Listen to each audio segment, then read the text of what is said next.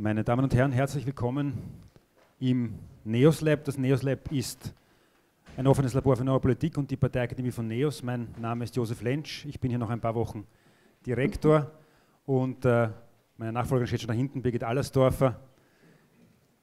Ich freue mich sehr, äh, heute Abend hier ähm, ein sehr spannendes Podium und auch erfreulich viele Gäste begrüßen zu dürfen zu einem Thema, das bewegt, das auch NEOS bewegt, äh, wie Sie vielleicht mitbekommen haben, hat NEOS einen Entschließungsantrag eingebracht vor kurzem im Parlament, ähm, religiös geprägte Kleidungsstücke in der Schule ähm, bis, zur, bis zur Religionsmündigkeit, also bis zum Alter von 14 Jahren, zu verbieten.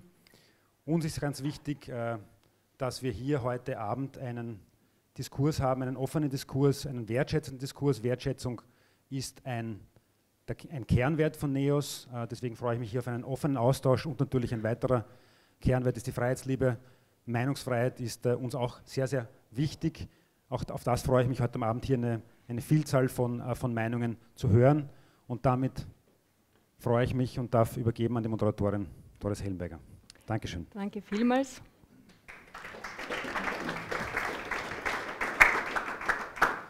Ich freue mich auch, dass ich äh, heute da sein darf. Ähm, als Redakteurin der Furche es ist auch ein, für mich ein, ein, neuer Rahmen einmal bei den Neos. Äh, man ist sicher nicht immer grün. Wir haben den Vorstoß der, der Neos äh, zu dieser Sache jetzt ein bisschen kontrovers äh, thematisiert, auch in der Ausgabe, die Sie hier liegen haben. Ähm, also es ist ein Reizthema, ein polarisierendes Thema, das man in vielerlei Hinsicht merkt. Vielleicht ein paar Beispiele. Sie haben schon angesprochen, das diskutierte Kopftuchverbot, der Initiativantrag der Regierung, Regierung und eben die Antwort der NEOS darauf. Ähm, das Zweite ist natürlich grundsätzlich die sozusagen der Eindruck, dass man an dem Thema Islam oder Muslime überhaupt nicht äh, vorbeikommt, also Musliminnen und Muslime als Projektionsfläche für eh alles, also für alle Probleme und Dis Diskurse, die so aufpoppen. Zwei Beispiele dafür sind zum Beispiel ähm, das Video des Ali, das Sie vielleicht verfolgt haben zuletzt, wo es um die E-Card gegangen ist, wo auf einmal ein Mann mit Face auftaucht und man sich fragt, wie das da jetzt reinpasst. Und das zweite war ein Plakat der FPÖ, wo es darum gegangen ist, um die Indexierung der Familienbeihilfe ins Ausland. Äh, ein Thema, das illustriert worden ist mit einer schwarzen Frau mit Kopftuch, also das in jeglicher Hinsicht am Thema vorbei war, aber man weiß sozusagen, dass äh, das Kopftuch als Symbol äh, emotionalisiert, polarisiert und da vielleicht auch Stimmen und Aufmerksamkeit bringt, zumindest in einer Richtung.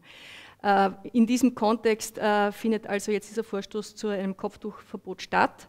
Äh, und ein letzter aktueller Anreißer ist, wie Sie auch sehen in der Furche, die vor Ihnen liegt, ein neuer Film, der letzte Woche gestartet ist. Ähm, er heißt, womit haben wir das verdient? Und er versucht, das komplexe und schwierige Thema Kopftuch irgendwie komödiantisch aufzugreifen. Wir haben dazu auch eine Diskussion in der Furche gehabt, die sehr heftig war. Eine der Diskutantinnen ist heute hier am Podium, äh, Amani Abusara. Äh, ich finde, es ist ganz spannend geworden, lesen Sie sich das durch. Ähm, die Frage ist einfach, wie kann man versuchen, ein verfahrenes Thema irgendwo noch auf einer Metaebene irgendwo anders zu beleuchten und ins Gespräch zu kommen. Ich möchte jetzt äh, zu den Leuten kommen, die heute in einer anderen Runde mit äh, Amani Abusara diskutieren. Äh, es geht heute um das Thema Mehr Kopf als Tuch. Das ist auch der Titel Ihres Buches, das jetzt ziemlich genau ein Jahr alt ist. Es ist ein Sammelband, äh, in dem elf Musliminnen selber zu Wort kommen und über ihre Erfahrungen und ihr Leben und Eindrücke als Musliminnen in Deutschland und Österreich äh, sprechen und erzählen. Ähm, ganz kurz zur Person. Ähm, Amani Abusara hat Philosophie und Intercultural Studies in Wien, Salzburg, äh, Skisi hier, ich weiß nicht, ob man es richtig ausspricht, also in, in Istanbul, Istanbul und ja, okay, keine Chance. so wie in den USA haben Sie auch studiert. Äh, Sie haben an der Kirchlichen Pädagogischen Hochschule Wien-Krems Philosophie und interkulturelle Pädagogik studiert, äh, gelehrt, jetzt nicht mehr, habe ich erfahren, äh, sind Trainerin in der Erwachsenenbildung und Autorin, eben dieses Buches, das vor einem Jahr erschienen ist und über dessen Anliegen wir dann gleich noch sprechen werden. Zu meiner Rechten Astrid Mattes. Äh, sie hat vergleichende Religionswissenschaft und Politikwissenschaft in Wien und Limerick studiert, äh, an zahlreichen Forschungsprojekten zum Thema äh, Religion, religiöse Kartografie von Wien, muslimische Jugendliche in Wien, mitgearbeitet, dann Doktorat in Sozialwissenschaften über die Rolle der Religion in österreichischen, deutschen und Schweizer Integrationspolitiken. Und seit 2018 ist sie Forscherin mit Schwerpunkt Diversität in liberalen Demokratien. Äh, weiterer Schwerpunkt Migrations- und Integrationspolitik, Islam in Europa und religiöse Pluralität. Also ein hochspannender Forschungsbereich und sehr aktuell. Zu meiner Linken ganz außen Reinhard Heinisch. Er hat äh, an der Universität Wien und in den USA Politikwissenschaften studiert, Dissertation an der Michigan State University mit einer Analyse zur Menschenrechtspolitik. Das ist in diesem Kontext natürlich auch ganz wesentlich. Seit 1995 Professor für Politikwissenschaft an der Pittsburgh, an der University of Pittsburgh in Johnstown und seit 2009 auch Professor für österreichische Politik in vergleichender europäischer Perspektive an der Uni Salzburg, äh, wo er auch die Abteilung Politikwissenschaft leitet. Sein Schwerpunkt, auch ganz ähm, aktuell und natürlich relevant, ist österreichische Politik im europäischen Kontext und vergleichende Populismusforschung, also ein Bereich, der hier ganz wesentlich reinspielt. Und zu meiner Linken, äh, Christoph Wiederkehr, Salzburg geboren, Politikwissenschaft an der Uni Wien studiert, in Sussex und Australien waren Sie, äh, waren Sie auch. Seit 2013 Mitarbeiter am Verfassungsgerichtshof? Nicht mehr. Nicht mehr, okay. Hauptberuflich sozusagen bei den NEOS. Äh, Sie waren Vorsitzende des Studentenverbands der NEOS, seit November 2015 einer von fünf NEOS-Abgeordneten zum Wiener Landtag und seit September 2018 Nachfolger von Beate Meidel-Reisinger äh, als Clubvorsitzender. Amani Abusara, ähm, ich möchte jetzt Sie mal fragen, der Untertitel unseres heutigen Tages ist, wie junge Musliminnen in Österreich und Deutschland ihre Umwelt erleben. Wie erleben Sie im Moment den Diskurs und inwiefern hat sich das, was die elf Frauen in ihrem Buch sagen, hat das nochmal an Relevanz gewonnen? Ja, ähm, ist das an? Ja, genau. Wunderbar. Ja, zunächst mal äh, vielen Dank ähm, an die NEOS auch für die Möglichkeit, hier heute diesen Austausch zu führen. Wie ja schon gesagt worden ist, ich finde das sehr wichtig, ähm, auch wenn man mit unterschiedlichen Sichtweisen nicht übereinstimmt, wirklich in den Dialog zu treten. Und ich glaube, insofern ist heute dafür auch Platz. Ja, wie Musliminnen, äh, Muslime in Österreich ihre Umwelt erleben. Ich habe vor einem Jahr ähm, habe ich das Buch herausgegeben. Inzwischen ist in zweiter Auflage erschienen, um genau da einen Einblick auch zu gewährleisten. Also primär über muslimisch-weibliche Lebensrealitäten um unterschiedliche Perspektiven sichtbar zu machen. Was bedeutet es, Muslimin zu sein und was heißt es, darauf reduziert zu werden, fokussiert zu werden und eigentlich den Blick zu weiten. Also unterschiedliche Perspektiven und Expertisen ähm, einfach auch zu ermöglichen. Und das Spannende war, dass es viele Menschen auch interessiert hat. Also die gesagt haben, gehen wir mal weg vom Thema Kopftuch, gehen wir mal weg von dieser Reduzierung auf das Religiöse, die religiöse Identität und hin zu einem Austausch, aus der Perspektive von einer Selbstverortung. Wo verorten sich muslimische Frauen selbst? Worüber möchten sie gerne sprechen? Und ähm, so ein, ein, Leitsatz für mich war ähm, das Schreiben von der Feministin Adichie, die, die schreibt, die einzige Geschichte formt Klischees. Und das Problem mit Klischees ist nicht, dass sie unwahr sind, sondern dass sie unvollständig sind. Sie machen eine Geschichte zur einzigen Geschichte. Und insofern ähm, ist dieses, wie erleben Muslime, Musliminnen ihr eigenes Umfeld, ist so divers, aber sehr oft geprägt von einem einzigen Klischee, von einem einzigen ähm, oder von ganz wenig Vorurteilen, äh, wo man sich zu positionieren hat und dagegen anzusprechen, dagegen zu diskutieren oder zu argumentieren hat, um das Breite sichtbar zu machen. Das ist das eine. Und das andere, ähm, weil Sie ja sagen, jetzt ein Jahr später, hat sich ja nochmal um einiges auf der politischen Ebene vieles verschärft wo wir sehen, dass wir eine Regierung haben, die vor allem auf dem Rücken der Muslime, im Konkreten vor allem der Musliminnen, auch Politik betreibt. Und hier zwei Ebenen eigentlich. Das eine ist, immer dann, wenn es brenzlig wird, also wenn es zu unterschiedlichen Belangen geht, die die breite Bevölkerung angeht, Sozialleistungen werden gekürzt, im Bildungsbereich, dann kommt ein Vorstoß in Richtung Kopftuchverbot, dann kommt ein E-Card-Video, wo äh, zwei muslimische, also wo Männer mit einem muslimisch konnotierten Namen in Erscheinung treten, die das Gesundheitssystem betrügen. Und genau dann ähm, kommen solche Ablenkungsthemen. Zum einen, zum anderen, die andere Ebene muss man aber schon nochmal dazu sagen, für, aus der muslimischen Perspektive ist es nicht nur Ablenkung, denn es betrifft direkt. Es ist eine Politik des Rassismus, wo man direkt auch die Konsequenzen spürt, wo ähm, die Initiativen, die sich um Diskriminierung kümmern, merken, dass die Zahlen ansteigen, dass die Übergriffe mehr werden und dass auch tatsächlich äh, Muslime und Muslimen in Österreich in ihrer Lebenspraxis eingeschränkt werden. Und da kommt dann eben noch der NEOS-Vorstoß dazu, ähm, wo man das Gefühl hat, da wird noch eins draufgelegt, äh, dass gegen Schülerinnen, die Kopftuch tragen, hier ein weiteres Verbot belegt wird, natürlich äh, in einer anderen Sprache, also dass es eben alle sogenannten religiösen Symbole betreffen soll. Und das eröffnet dann noch ein weiteres Thema, wie gehen wir mit Religion um?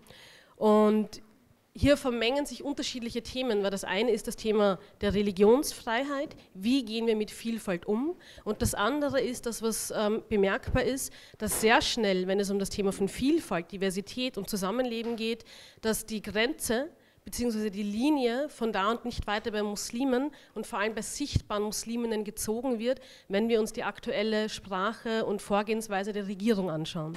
Und deswegen finde ich das auch wichtig, dass wir das heute ein bisschen auseinanderdifferenzieren, weil die Neos haben da einen anderen Zugang. Aber dennoch, in dem Kontext passiert diese aktuelle Politik. Ich sage mal herzlichen Dank, da werden Sie dann noch äh, darauf replizieren. Zuvor möchte ich äh, die Astrid Mattes fragen, die sich ganz intensiv mit religiöser Diversität und Pluralität beschäftigt hat und das Thema Identität und Zugehörigkeit scheint mir da jetzt ganz relevant zu sein und zwar auf beiden Seiten. Also sozusagen Identitätspolitik wird einerseits betrieben, auf der anderen Seite macht das auch was wahrscheinlich äh, äh mit, mit der muslimischen Community, wenn man hier in eine Rolle gedrängt wird. Und dann gibt es natürlich auch noch, das muss man sagen, eine gewisse äh, quasi islamistisch, äh, äh, islamistische fundamentalistische Strömungen, die auch in, nach Europa hereinreichen. Das war zumindest ein Befund von äh, Kenan Günger in der Diskussion. Das heißt, äh, welche Rolle spielt hier Identität in diesem Diskurs und warum ist da jetzt gerade, äh, warum ist religiöse Pluralität hier jetzt so schwierig und herausfordernd? Identitätspolitik ist immer Grenzziehungspolitik. Also es geht darum, eine Grenze zu ziehen gegenüber den anderen, die anderen haben Eigenschaften, die anderen haben Merkmale und das Fehlen oder das Gegenüber dieser Merkmale und Eigenschaften konstituiert ein Wir. Das ist was, das wir alle immer machen. Wir, so formen wir unsere eigene Identität, aber das passiert auch in einem breiteren politischen Diskurs. Und natürlich hat es äh, unterschiedliche Konsequenzen, ob ich jetzt meine Identität in meinem engeren Umfeld aushandle oder ob eine politische Partei, eine Regierung Grenzziehungspolitik betreibt. Das hat andere Konsequenzen. Es ist seit vielen Jahren mittlerweile ein politisches Projekt der Rechten, des Rechtspopulismus, das Kopftuch als ein Merkmal des anderen ähm, zu framen und, sich, und, und das ganz stark zu pushen. Ähm, das ist immer mehr in die Mitte des politischen Diskurses gekommen, aber es ist etwas, das von rechts kommt, dass das Kopftuch so ein Merkmal für das andere, das muslimische andere ist. Ich denke, das muss man immer mitdenken. Es gibt unterschiedliche politische Positionen, aus denen man heraus ähm, über das Kopftuch sprechen kann, aber von dem her hat sich die Debatte sehr stark entwickelt und da ist natürlich ein Ausgrenzungsinteresse da, das äh, von, von diesem rechtspopulistischen Diskurs von dieser rechtspopulistischen Erzählung ausgeht. Ähm, Identitätspolitik wird natürlich, wie Sie sagen, auch von anderen Seiten betrieben, auch von denen, die ein Kopftuch tragen ähm, oder die wollen, dass jemand ein Kopftuch trägt, ähm, in dem gesagt wird, beispielsweise, ich muslimische Feministin lass mir nicht vorschreiben, was ich anzuziehen habe, die anderen sind Rechtspopulisten, sind das Patriarchat etc oder vielleicht auch eine andere feministische Position, die dem gegenübersteht. Ich, Feministin, habe mich dafür eingesetzt, dass es, äh, eine, eine, dass es freie Frauenrechte gibt und die anderen sind muslimische Frauen, die jetzt ein Kopftuch tragen und sozusagen eine äh, äh, konservative Position einnehmen. Also ganz unterschiedliche Verhältnisse, wie das Kopftuch hier hineinspielt. Und alle sind Formen von Identitätspolitik, aber nicht alle sind gleich dominant im Diskurs. Warum ist äh, religiöse Diversität so ein Problem? Ja, das ist eine gute Frage. Ähm, von der historischen Entwicklung her ist religiöse Diversität ein Problem, weil ähm, die dominanten Religionsgemeinschaften ja ihren Wahrheitsanspruch und ihren Machtanspruch äh, verteidigen wollen. Das ist jetzt in Österreich viel weniger der Fall. Die Religionsgemeinschaften sind oft die, die am besten mit religiöser Diversität zurechtkommen. Vermutlich auch, weil sie gemeinsam im selben Boot gegenüber einer größer werdenden säkularen Gruppe sitzen. Ähm, der Staat kann ein Problem mit religiöser Diversität haben, ähm, insbesondere dann, wenn er ähm, staatliche Institutionen an neue Diversität anpassen muss. In Deutschland sieht man das ganz stark mit den Debatten um ähm, Religionsunterricht im Islam und andere Dinge. Die historischen Zufälle in, in, Österreich haben das aber schon lange geregelt. Also eigentlich hat diese inklusive Religionstradition, die wir in Österreich haben, ähm, viele Konflikte, die anderswo geführt werden, religiöse Diversitätskonflikte auf der Ebene Religion-Staat, weitgehend verhindert. Es gibt natürlich religiöse Konflikte im alltäglichen Miteinander, oft weil Religion als Begründung, Entschuldigung für vielleicht schlechtes Benehmen in der Schule oder ähnliches äh, herhalten muss, weil es religiöse Diskriminierung gibt und daraus äh, Konflikte äh, entstehen oder weil es um unmittelbares Zusammenleben geht und andere Aspekte mit hineinkommen. Stichwort, heute habe ich jemand reden gehört, dass in seiner Nachbarschaft beim Freitagsgebet kein Parkplatz mehr zu finden ist. Dann ist die Frage, ist das jetzt ein Religionskonflikt oder ein Konflikt um den öffentlichen Raum und Parkplatz nur in Wien? Aber im alltäglichen Miteinander entstehen da auch Konflikte. Wo ich die Konflikte aber am meisten verortet sehe, ist so im alltäglichen Nebeneinander. Also eigentlich dann, wenn keine Auseinandersetzung zwischen Menschen ähm, da ist, sondern im Vorbeigehen einer beispielsweise Frau mit Kopftuch und im Film, der dann abspult, weil wir alle den Diskurs um dieses Thema erleben. Und ich persönlich habe auch die Erfahrung, dass dann bei mir Vorurteile hochkommen und ich muss die bewusst reflektieren. Und ich denke mir, es ist mein Beruf, darüber nachzudenken. Viele andere Menschen, die weniger Zeit haben, darüber nachzudenken, haben vielleicht auch nicht dann die Möglichkeit, das so zu reflektieren. Und man weiß ja auch aus der Forschung, Stichwort Kontakthypothese, dass die Menschen, die am wenigsten tatsächlich ähm, mit äh, Menschen, die mit Diversität zu tun haben, ähm, die größten Vorbehalte haben.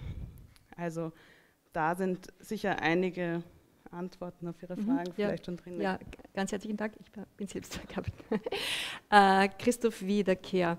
Ähm, es ist schon angesprochen worden, der, der Vorstoß stößt natürlich äh, auch auf heftige, heftige Kritik, auf Sympathien und auf heftige Kritik. Äh, das eine ist ja nicht nur das Kopftuchverbot, das andere ist ja auch sozusagen der Vorstoß einer, ähm, einer, äh, eines Unterrichtsfaches Ethik und Religionen ich weiß nicht, ob das gekoppelt ist mit einem Aus für den konfessionellen Religionsunterricht, das war mir nicht ganz klar.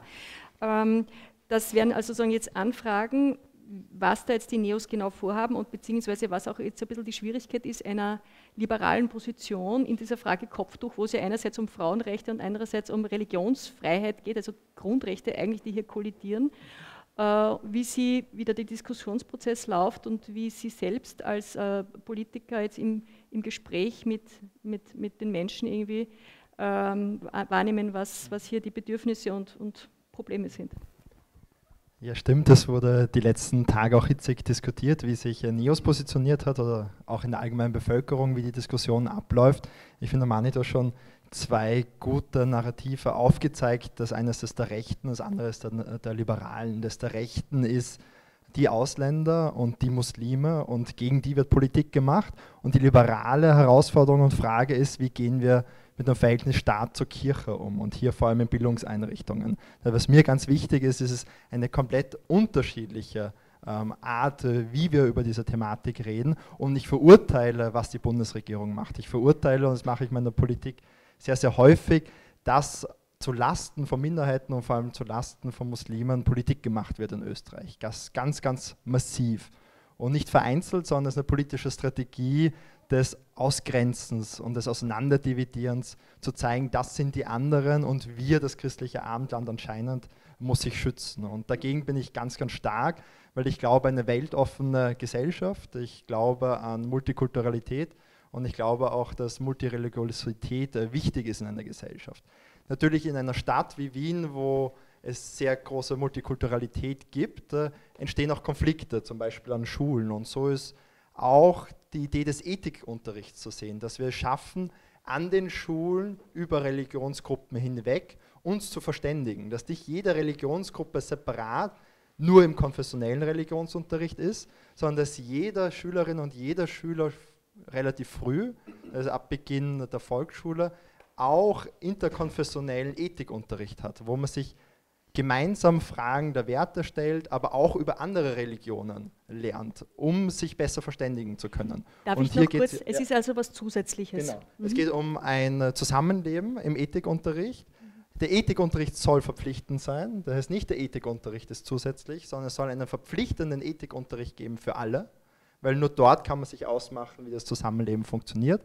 Und einen freiwilligen konfessionellen Religionsunterricht. Und hier können wir uns sehr gut vorstellen, dass auch die Schule Infrastruktur dafür zur Verfügung stellt. Als wichtig ist, dass alle Schülerinnen und Schüler unabhängig vom Glauben zusammen sich über so wichtige Fragen austauschen, wie Religion oder Wertehaltung. Und das ist das Kernelement äh, von unserer liberalen Perspektive, der Austausch über Religionsgruppen hinweg. Und der Vorstoß Richtung Ethikunterricht ging einher auch mit der Frage, wie stark soll Religion in der Schule auch sichtbar sein. Und hier ist der Vorschlag eines religionsneutralen Raumes äh, Schule, wo wir sagen, wir machen es an der Religionsmündigkeit mit 14 fest ab dem Alter natürlich jeder für sich und jeder für sich entscheidet, ähm, was man trägt und welche religiösen Zeichen man sieht. Aber bis zu 14, bis zum Erreichen der religiösen Mündigkeit, wollen wir einen religionsneutralen Raum Schule mit einem Ethikunterricht und auch mit einer Gleichbehandlung von allen Religionen und der Trennung von Kirche und Staat, dass wir sagen, keine religiösen Symbole in der Schule ähm, bis 14. Und das soll natürlich für alle Religionsgemeinschaften gelten. Was äh, die jetzige Diskussion ist der Bundesregierung, ist gezielt gegen das Kopftuch. Und äh, unsere Diskussion ist die Frage Staat und Kirche und wie viel Religion in der Schule Platz haben soll. Das ist eine säkulare Diskussion. Das hieße kein Kreuzzeichen zum Umhängen, keine Kippa, kein, äh, also alle religiösen Symbole Äh, bis 14 raus. Das- Wir stimmen auch keinem Gesetz der Bundesregierung zu. Die Bundesregierung wollte ja eine Zweidrittelmehrheit jetzt äh, durch uns erreichen mit einem Gesetz, wo lediglich eine religiöse Bekleidung ähm, gemeint ist, die das Kopf bedeckt. Das heißt äh, der Turban der Sikhs und das Kopftuch. Ähm, das ist eine willkürliche ähm, Definition. Also wir sagen, alle sichtbaren religiösen äh, Symbole wenn ein Kreuz versteckt äh, getragen wird, wird sicher nicht Aufgabe der Schule zu sein, das Hemd aufzumachen. Aber es geht darum, dass die Kategorie Religion in der Schule ähm, keine so sichtbare ähm, und dominante ist und äh, hier auch alle Kinder gleich sind. Und äh, das ist der Ansatz. Okay, herzlichen Dank. Da werden wir sicher noch äh, heftig diskutieren dann drüber. Äh, Herr Heinisch, ähm, Sie haben Erfahrungen quasi über die Diskurse, wie sie in den USA ablaufen, wie sie in Österreich ablaufen, auch in anderen Ländern Europas. Was mich ja interessieren würde, es hat ja interessante Verschiebungen auch hier gegeben, quasi von links nach rechts oder so. Manche sagen, nichts hat den Rechten so sehr in die Hände gespielt, wie der Versuch, ihnen nicht in die Hände zu spielen, also von linker Seite. Ähm, warum gewinnt jetzt ausgerechnet die Religion angesichts des Wandels der Partei- und Politikmuster so an Rele Relevanz? Äh, obwohl man ja den Eindruck hat, dass religiöse Praxis oder religiöses Wissen insgesamt zurückgehen. Welche Dynamiken analysieren Sie hier? Also, die, also erstmal guten Abend und danke für die Einladung. Ähm, es gab vor, bis vor wenigen Jahrzehnten so den, den klassischen, die klassische Hypothese, reiche Staaten wären, desto stärker nimmt Religion ab. Und das war so der, der, der, die Idee, Religion ist eine Art Krücke, die man braucht, wenn man halt noch nicht wirklich voll entwickelt ist. Das, nennt sich eindeutig. Und Europa war immer so das, das, das, das klassische Musterbeispiel und die USA waren die Ausnahme, weil die USA noch immer ein hochentwickeltes Land, aber sehr religiös sind. Mittlerweile, glaube ich, stimmt das in verschiedener Hinsicht nicht mehr. Also ich halte, ich empfinde Österreich als, als sehr, immer noch sehr religiöses Land, aber anders, als sich die Österreicher das vorstellen. Was abnimmt, ist einfach die organisierte Religion und ist die Kritik an Institutionen nimmt zu. Das heißt, die Kirche als Institution steht in der Kritik, aber wenn Sie sich überlegen, wie viel Sie an Spiritualität, Religiosität, New Age, an diesen ganzen Dingen in Österreich erleben, von, auch von Bildungsbürgern, also von Hochgebildeten, von, von der Impfverweigerung und so weiter, dann sehen Sie, dass es vom Baum aufstellen und dem Mondkalender und ich weiß nicht, was es da alles gibt. Ich bin immer wieder entsetzt, was es da alles gibt. Das ist für mich sehr österreichisch. Für mich ist das einfach nichts anderes als eine andere Ausdrucksform von Religion oder von Glauben an, an Glaubenssystemen. Ähm, und äh, das äußert sich halt in Österreich so, in anderen Ländern anders. Das mag eine Reaktion sein auf Modernisierung und auf eine gewisse Entleere. Ich unterrichte im Sommer in China und China ist gerade dabei, äh, die merken, dass sie mit dem Kommunismus dass das nicht wirklich so haftet, versucht man jetzt so irgendwie eine Art neuen, eine Art ähm, Linkskonfuzianismus zu schaffen, von staatlicher Seite zu verordnen, weil man auch dort irgendwie was Spirituelles braucht, weil diese Sinnentleertheit ist oft problematisch. Also ich sehe jetzt äh, Religion in anderer Form bei uns. Das ist ein Punkt und ich glaube, das, und das äh, geht einher mit anderen Tendenzen, eben einer Art, ähm, einem verstärkten Individualismus. Jeder kann sich seine Religion quasi selbst zurechtzimmern. Ähm, daher auch die Kritik an organisierten Religionen und äh, das passiert in Europa genauso wie in den USA. Auch in den USA nehmen die nehmen die organisierten Religionen ab und die jetzige Generation, wenn wir im Jahre 2030, 40 sind, werden dort auch fast die Hälfte der Bevölkerung wird dann als, sich als eher säkulär äh, definieren. Das, der Prozess äh, passiert einfach später.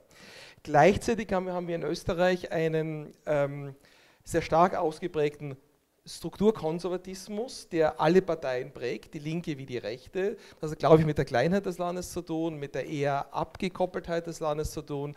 Das, das Klischeebild der Insel der Seligen oder die Idee quasi, man ist sich selbst, was man nicht kennt, kennt man nicht. Also wir haben es immer so gemacht, wir haben es nie so gemacht. Ich glaube, das ist sehr ausgeprägt. Es geht durch alle Parteien, weil es viel tiefer ist als, als, als Wertemuster. Und Wien ist vielleicht auch noch ein bisschen anders. Wenn Sie da aus Wien rausgehen, ist das noch ist das ganz massiv. Also ich war oft schockiert. Wir hatten unlängst eine israelische Delegation bei uns zu Gast an der Uni in Salzburg und dann gab es so ein koscher Catering und dann dachten die, na, die essen einfach kein Fleisch. Das muss man sich an einer Universität in Salzburg vorstellen, in einer Stadt, die relativ äh, weltoffen ist oder für die Touristen hat, dass man nicht genau weiß, was man unter Koscher zu verstehen hat. Das dortige internationale Büro der Universität. Also es war nicht irgendwo in, in, in, im, im, tiefsten, im, im tiefsten Tal.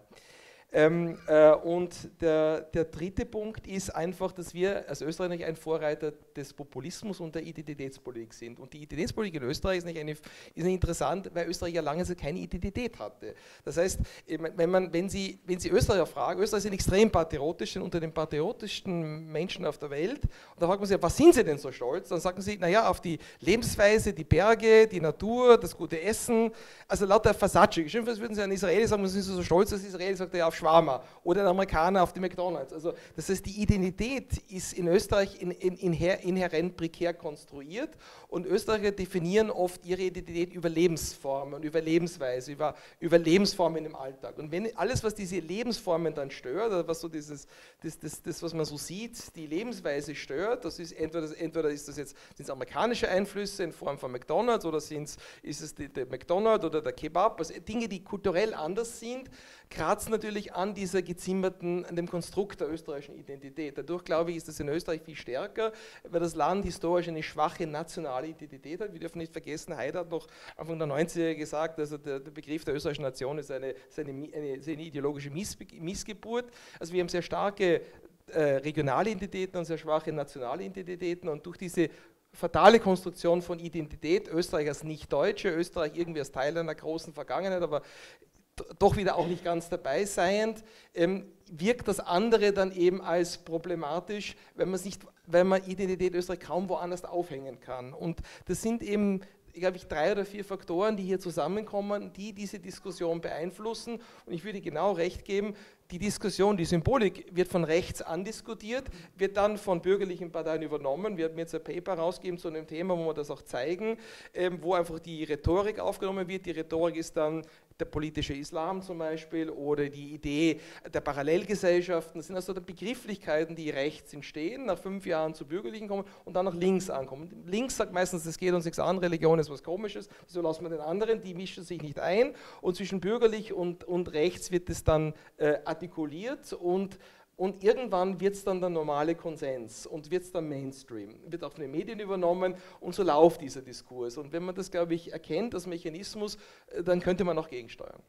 Äh, da muss ich jetzt gleich eine kritische Rückfrage stellen, weil das äh, würde ja bedeuten, also es gibt ja die andere Position, wie sie zum Beispiel auch der Kinan Günge in der Diskussion gehabt hat, nämlich dass es einfach tatsächlich eine konservative Unterspülung der Communities in Europa gibt äh, von, von der arabischen Welt. Also sozusagen, das wäre jetzt nur äh, ein, ein, als Faktum sozusagen oder als Tatsachenbeobachtung? Na, natürlich, ähm, bin auch eher ein politischer Realist, auch was, was Bedrohungsszenarien betrifft. Da bin ich sicher viel weniger österreichisch als vielleicht andere.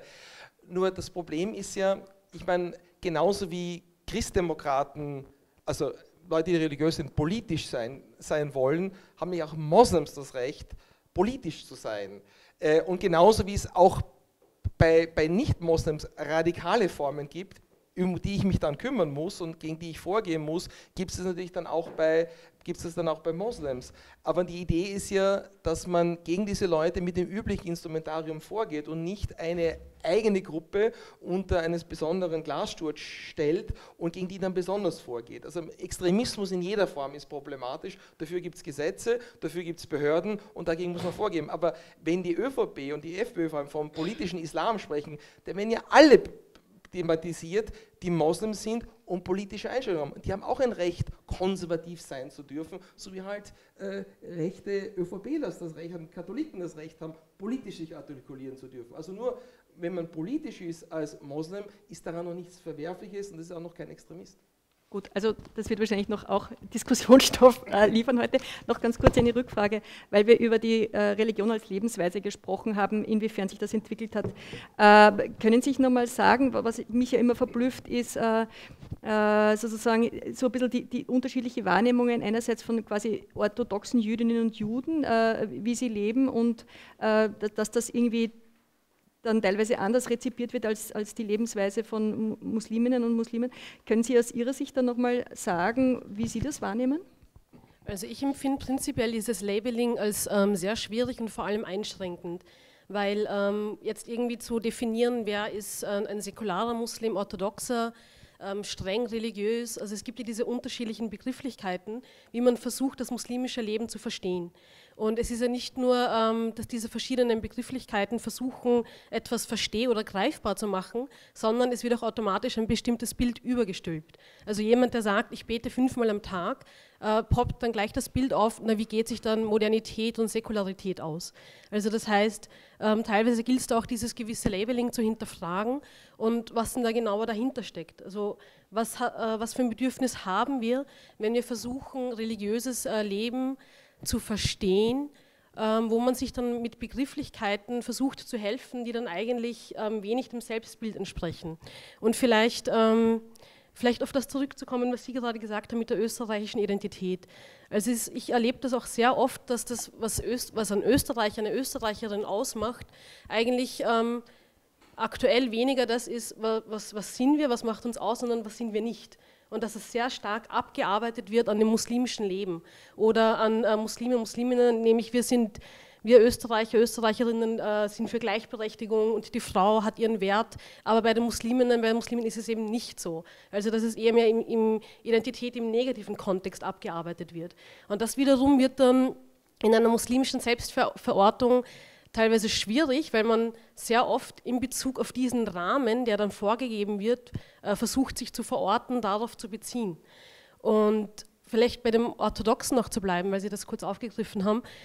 Ähm, und Sie haben ja das Säkulare angesprochen, weil ich gerne noch ganz kurz auf das noch eingehen würde. Dann wird schon sehr oft, ähm, bemerke ich halt, dass dann teilweise über ein säkulares Leben gesprochen wird, das von anderen wiederum eher mehr als Laizismus verstanden wird. Wenn man sagt, man trennt Staat und Religion voneinander, ist es nicht eher mehr eine, ein Zugang des, La des Laizismus, wo man dann wirklich sagt, Religions, ähm, äh, na, religionsfreie Schulen oder die Öffentlichkeit, was bedeutet das dann? Und für mich ist es etwas widersprüchlich, weil wie gestaltet sich das? Beziehungsweise, wovor haben wir eigentlich Angst? Also wovor haben wir da eigentlich Angst? Wenn wir von einer religiösen Diversität sprechen, dann wird sehr schnell reduziert Diversität auf das Religiöse. Aber die Menschen äh, laufen ja nicht nur als äh, Jüdin, als Muslim, als Buddhist herum, sondern es gibt noch so viele weitere Identitätsanteile.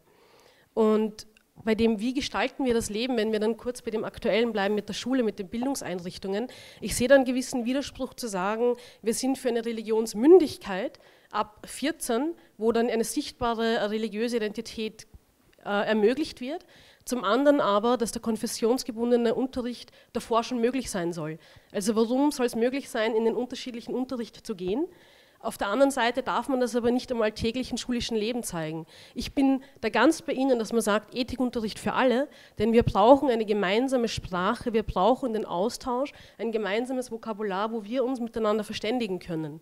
Aber wovor haben wir Angst? Beziehungsweise für mich ist es schon noch ein bisschen die, die Thematik der Angst. Mhm. Wovor haben wir Angst, wenn wir sagen, wir wollen jetzt, dass, dass die Schüler, Schülerinnen ohne einer gewissen, ohne einen Verweis auf religiöse Identitäten kommen. Und wie stellt man sich das vor, wie Sie ja schon gesagt okay. haben? Wird dann Weihnachten, Ostern, mhm. äh, Gottesdienst am Anfang vom Schulunterricht, also wie konsequent wird das eben weitergedacht? Also für mich tun sich da sehr, sehr viele Fragestellungen auf, wo man einfach ähm, sich das durchdenken muss, aber wir kommen dann wieder zurück zu der Frage, wie tun wir allgemein mit, mit Diversität und dass wir da etwas Aufholbedarf okay. haben in Österreich? Ähm, ganz viele Sachen, Herr Wiederkehr, ich glaube, da sind Sie jetzt gefordert. Das eine ist die Frage, woher haben wir Angst? Man kann es auch ein bisschen weniger emotional sagen, nämlich wogegen wollen Sie vorgehen, welche Dynamiken? Sehen Sie das auch so äh, wie der Herr Heinisch, dass sozusagen der politische Islam als solcher quasi mehr oder weniger nur eine Chiffre ist der, im Diskurs, den man übernimmt? Oder ist das tatsächlich eine Gefahr? Ich, ich habe Angst vor einer auseinanderklaffenden Gesellschaft. Und äh, wir sehen Entwicklungen in Österreich, dass äh, die Gesellschaft immer mehr auseinanderklafft. Wenn man Österreicherinnen und Österreicher fragt, da gab es eine europäische Studie, wollen sie, dass es zusätzliche muslimische Zuwanderung gibt, sagen mittlerweile 63 Prozent Nein, unter keinen Umständen. Das heißt, wir sehen leider eine Mehrheit mittlerweile an Österreichern, die ganz klar gegen äh, Zuwanderung sind, muslimische. Und wir sehen auch eine Gegenentwicklung, dass sich manche Gruppen äh, oder Gruppierungen oder Communities auch mehr isolieren und verschließen. Und meine Angst ist, dass es hier keinen gesellschaftlichen Dialog mehr gibt und hier auch die Extreme stärker werden. Und darum eben wichtig das Verbindende. Beim Ethikunterricht sind wir auch einer Meinung, ähm, was ich äh, mit politischen Islam oder Strömungen ich bin sehr viel an Wiener Schulen und äh, rede sehr viel mit Pflichtschülern. Ähm, äh, auch im Jugendzentrum, was man schon sieht, ist eine Tendenz unter Jugendlichen vor allem, ähm, oft religiös äh, geprägt, das ist für meines Erachtens oft ein Deckmantel, für andere zu sagen, wie man zu leben hat.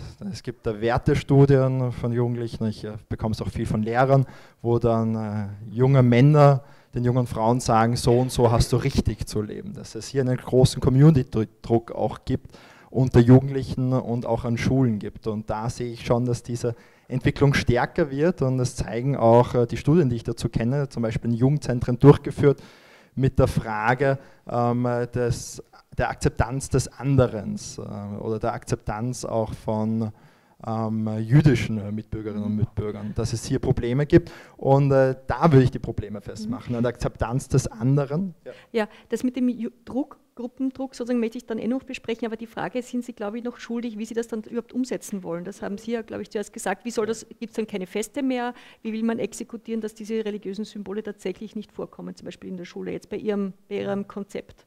Ja. des, der religionsneutralen Schule. Ja. Äh, Frage war, warum ab 14 und äh, nicht mhm. darüber hinaus. Äh, äh, wir sagen, ähm, Religion, ja, Privatsache und freie Religionsausübung ist wichtig.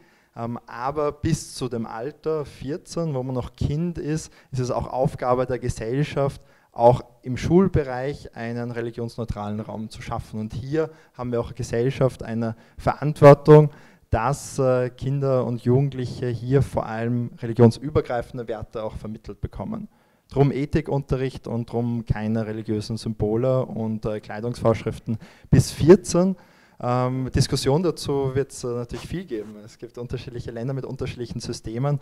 Ob das jetzt säkular ist oder laizistisch, ist, äh, glaube ich, eine akademische Diskussion auch. Was hier wichtig ist, ist, dass es eine stärkere Trennung ähm, gibt von Staat und Kirche. Und äh, das ist die Diskussion, äh, die wir hier auch ähm, anstoßen, die sicher nicht zu Ende geführt ist, äh, aber weggehen soll von dem Ausschließenden hin zu einer Frage, wie leben wir miteinander. Mhm.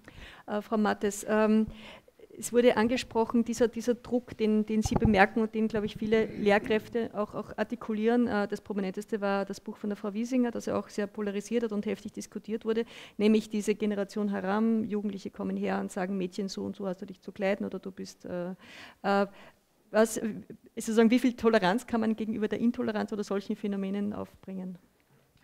Ich glaube nicht, dass das eine Frage von, von Toleranz ist. Ähm, Burschen, die Druck auf Mädchen machen, ist nichts, was in muslimischen Kreisen erfunden worden ist, aber ist aktuell ähm, unter dem äh, oder in, in dieser Gruppe ein Problem und in, in, äh, mit diesem Vokabular. Ähm, es ist sicher wichtig, dass innerhalb religiöser Communities auch theologische Ressourcen aufgewendet werden, um dagegen vorzugehen. Ich glaube, diesen Willen gibt es nicht immer, aber das Potenzial ist da. Ähm, es ist sicher auch äh, die Frage, inwiefern man das überhaupt als ein religiöses Thema behandeln soll und muss. Also ich denke mir, ganz oft geht es auch um, um Dinge, die, die einfach Fragen des Benehmens, des Umgangs miteinander sind, die, die zwar religiös betitelt werden von den Leuten, die das machen, von den Burschen, die sagen, das sei Haram, aber schlicht und einfach äh, geht es dann darum zu sagen, es gibt Regeln in unserer Schule, die Benimmregeln sind und so gehen wir nicht miteinander um. Das sind nicht unbedingt religiöse Regeln, sondern, sondern schlicht und einfach Regeln des Miteinanders. Und wenn man das so stark auf einen religiösen Diskurs umschwenken lässt, dann ist das, glaube ich, auch der Sache nicht zuträglich und auch nicht der Lösung äh, solcher Probleme zuträglich. Mhm. Herr Heinisch, dieser Vorschlag von den Neos, äh, können Sie da eine Einordnung aus Ihrer Sicht äh, treffen? Ähm, nein, ich habe Probleme damit aus zwei Gründen, weil äh, natürlich gibt viele, in Österreich gibt es ja viele Chancen, über die äh, religionsneutralen Schulen zu sprechen, dass man es gerade an den Moslems aufhängt, ist irgendwie auch sehr unverdächtig politisch vielleicht der Widerstand geringer, als wenn ich jetzt beim Katholizismus da vorgehen würde und mal Krippen, und mal überlegen, ob man Krippen aufstellt oder Sterne bastelt oder Kreuze bastelt im, im Kindergarten. Ähm, aber ich nehme ich nehm, die Botschaft höre ich wohl, allein mir fehlt der Glaube, obwohl ich den Neos die mir auch politisch etwas näher stehen, das durchaus abkaufe. Ich meine, ich, meine Position, ich habe mit Religion weniger Mut, ich komme aus einer radikal-liberalen Perspektive. Ähm, nur das Problem, was ich in der ganzen Diskussion sehe, das ist ja das Perfide in Österreich, ist nämlich das, Österreich importiert gewisse Arten von Personen, nämlich Menschen niedriger Bildung und niedriger Ausbildung, weil nur die können, die importiert man, weil die sind keine Konkurrenz zum einheimischen Arbeitsmarkt. Dann hat man Personen hier, denen die Ressourcen fehlen. Und dann äh, sagt man, da, sind ja jetzt, da kommen viele aus dem, aus, dem, aus dem Nahen Osten, aus der Türkei oder aus Bosnien und sagen, ja, das, so sind die Moslems. Dass das natürlich nicht, dass die nicht, dass die Leute so sind, äh, weil sie oft wenig Ausbildung haben, nicht weil sie Moslems sind, sondern weil sie aus einer bestimmten Schicht rekrutiert werden, aufgrund des österreichischen Systems. In den USA, wo ich gelebt habe, da waren viele Moslems palästinensische Ärztinnen. Wenn sie dort leben, merken sie sehr oft, die sind alle hochgebildete, hochgebildete Frauen mit Kopftuch natürlich. Keiner würde auf die Idee kommen, dass die sich nicht zu wehren wüssten oder irgendwie das irgendwie täten, weil sie von ihren Männern da drangsaliert würden. Ich meine, das ist natürlich eine individuelle Entscheidung, die jeder trifft, aber wir müssen, dürfen nicht vergessen, wir vermischen permanent eine soziale und eine kulturelle, äh, äh so, soziale und kulturelle Kategorien. Und der, das, der Umstand, dass in Österreich sehr oft äh, wenn, ich meine, wenn ich an die Uni Salzburg schaue, alle, die dort Kopftuch tragen, in der Regel sind die Leute, die dort aufräumen kaum Studierende, weil ich kaum Studierende sehe an der Uni Salzburg, die äh, einen Migrationshintergrund haben. Weil in Österreich sehr selektiv Immigration über diese Schiene kommt, weil die keine Konkurrenz zu Einheimischen darstellen. Und dann wirft man diesen Leuten vor, dass sie quasi nicht die hochgebildeten, befreiten, emanzipierten Personen sind. Und ich finde das eine extrem unehrliche Diskussion und da sollte sich eigentlich eine Partei wie NEOS nicht irgendwie auch nur beteiligen, weil wenn NEOS sich da schon beteiligt, frage ich mich, was macht dann zum Beispiel die FPÖ oder eine Liste Pilz? Das war jetzt ein Vorwurf sozusagen. Ja, das war so ein bisschen drauf. Wir müssen ein bisschen Diskussion bringen. Ja, sicher. Äh, äh, da die Antwort dazu, wir haben äh, bewusst in der Öffentlichkeit vom religionsneutralen Raumschule gesprochen, nicht vom Kopftuch. Die mediale Diskussion ist natürlich so aufgeheizt, dass sie kommunikativ durch die Medien in eine Richtung getrimmt wird, zeigt, wie kaputt die Diskussion ist. Ja? Und da versuchen wir halt diese kaputte Diskussion, die immer nur von den Freiheitlichen geprägt wird, immer nur gegen Ausländer geprägt wird, wegzubekommen von diesem Narrativ hin dorthin, dass wir uns überlegen, wie wir Staat und Religion miteinander verbinden. Das heißt, das ist eine andere Richtung und bei der Bildungsmobilität bin ich ganz bei Ihnen. Ähm, wir haben sehr viel bildungsferne Zuwanderung nach Österreich und was ich besonders ungerecht finde, ist, dass der Bildungsaufstieg in Österreich kaum klappt. Also auch im Vergleich Wien zum Beispiel zu Berlin klappt in Wien der Bildungsaufstieg ganz, ganz schlecht. Auch zweite und dritte Generation von Migranten schaffen häufig den Bildungsaufstieg nicht. Und das ist die Katastrophe. Und auch zweite, dritte Generation an Migranten sehen sich noch immer nicht als Österreicher in vielen Bereichen. Und das ist das Problem, was wir in Österreich haben. Zu wenig Bildungsmobilität und auch eine zu wenig offene Identität, dass man sich als Migrant auch bald als Österreich erfüllen kann. Und dorthin müssten wir kommen und darum äh, sehe ich unser liberales Erzählung ganz weit weg von äh, einer rechten, äh, rechtspopulistischen Erzählung. Okay. Ich hätte jetzt folgenden Vorschlag. Ich habe äh, eine zweite Runde mit Handlungsfeldern. Mir scheint es besser, wenn wir das am Schluss dann machen als, als Vorausschau und dass wir jetzt ein bisschen das schon eröffnen, dass Sie Ihre Fragen stellen können. Ich würde sagen, eine halbe Stunde äh, können wir erübrigen und dann können wir quasi die Handlungsfelder am Schluss so ein bisschen zu einer Synthese zusammennehmen. Äh, ich darf Sie herzlich einladen, Ihre Fragen oder Kritikpunkte oder was auch immer zu stellen. Bitte sehr. Ja, hallo. Ähm, ich stehe mal ganz kurz auf, dann sehen mich alle. Äh, vielen Dank zuerst einmal für diese Diskussion, ähm, die ja vor allem im Hinblick auf Schule sehr brisant ist. Ich bin selbst Lehrerin und bin eigentlich Tag für Tag in der Schule und erlebe Schule ganz nah mit. Und, ähm, Darf ich Sie fragen, welche Schule? Volksschule? Gymnasium. Gymnasium. Sogar hier relativ in der Nähe, mhm. aber ja. Auf jeden Fall, ähm, mich haben einige Punkte äh, bewegt, möchte ich sagen.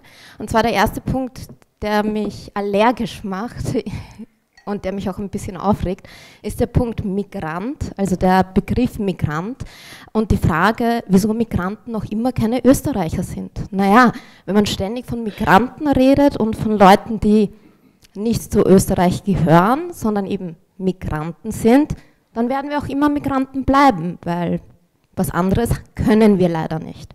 Dann ein anderer Punkt war die Frage nach dieser, ja, also Offenheit. Da hätte ich diese Frage zu stellen und zwar, Entschuldigung, ich bin ein bisschen nervös, weil der Begriff Migrant macht mich einfach sauer. Ähm, und ja, das ist emotional. Ähm, und zwar, weil da die Rede war von, von äh, Religion und wie Religion in der Schule gelebt wird. Also ich bin offensichtlich eine Lehrerin mit Kopftuch und äh, auch Deutschlehrerin. Und ähm, ich sehe, dass die Akzeptanz in der Schule und unter Kindern nur dann steigen kann oder nur dann möglich ist, wenn Kinder Diversität erleben können, nämlich die Diversität, die auch im Alltag vorhanden ist.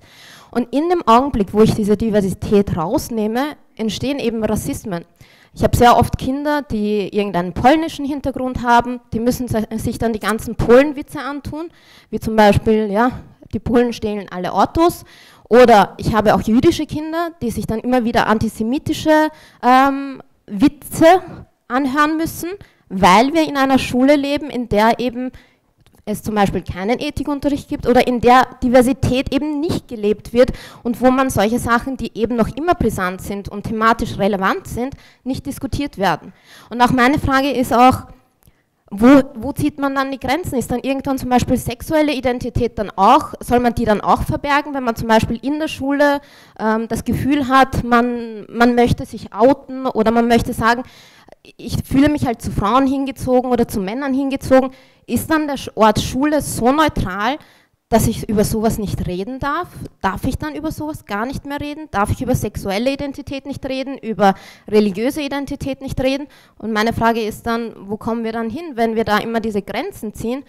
Und ich würde nochmal, es tut mir leid, aber bitte der Begriff Migrant ich bin keine Migrantin, meine Eltern waren Migranten und meine Kinder werden irgendwann auch keine Migranten mehr sein. Und wenn Sie, Herr Wiederkehr, möchten, dass wir Österreicherinnen sind, dann würde ich Sie bitten, auch in Ihrem Wording besser aufzupassen und auch okay. alle anderen. Dankeschön. Danke. Gut, bitte. Ich sage ganz offen, ich bin Migrant. Nach der Definition, meine Eltern sind beide Zuwanderer und ich finde es gut, dass ich bekannt bin, dass meine Eltern zugewandert sind nach Österreich und dass ich hier etwas erreichen konnte. Ich finde es genau falsch, solche Begriffe, die eigentlich neutral sind, nicht zu verwenden, nur weil der politische Gegner und die politische Rechte Begriffe so deformiert, dass sie negativ gesehen werden. Was ist an Migration negativ? Wir brauchen Migration in Österreich. Wir brauchen qualifizierte Zuwanderung. Ohne Migration könnten wir in Österreich nicht mehr überleben, könnte die Wirtschaft nicht existieren. Also ich bin der festen Überzeugung, dass wir uns Begriffe nicht von rechts wegnehmen lassen dürfen, nur weil es die Intention ist, von rechts manche Begriffe so negativ darzustellen. Drum, äh, ich werde dabei bleiben, ähm, auch wissenschaftlich in der Kategorie von Migranten zu reden und äh, sehe mich selber auch als Kind von Zuwanderern und in der Definition auch als Migrant. Ähm, die Frage des Outing, sexuelle Orientierung, was in der Schule Platz haben darf, das soll natürlich Platz haben dürfen Auch die Diskussion über religiöse Identität soll in der Schule Platz haben, in einem Ethikunterricht. Ähm, hier geht es äh, nur um die offensichtliche Trennung von Menschen nach Religionshintergrund, die sichtbar ist. Und äh, hier ist der Vorschlag, das ein bisschen zu reduzieren, um das Gemeinsame stärker im Mittelpunkt zu stellen. Mhm. Frau Mattes? Ich möchte nur einen Satz zur Begrifflichkeit sagen.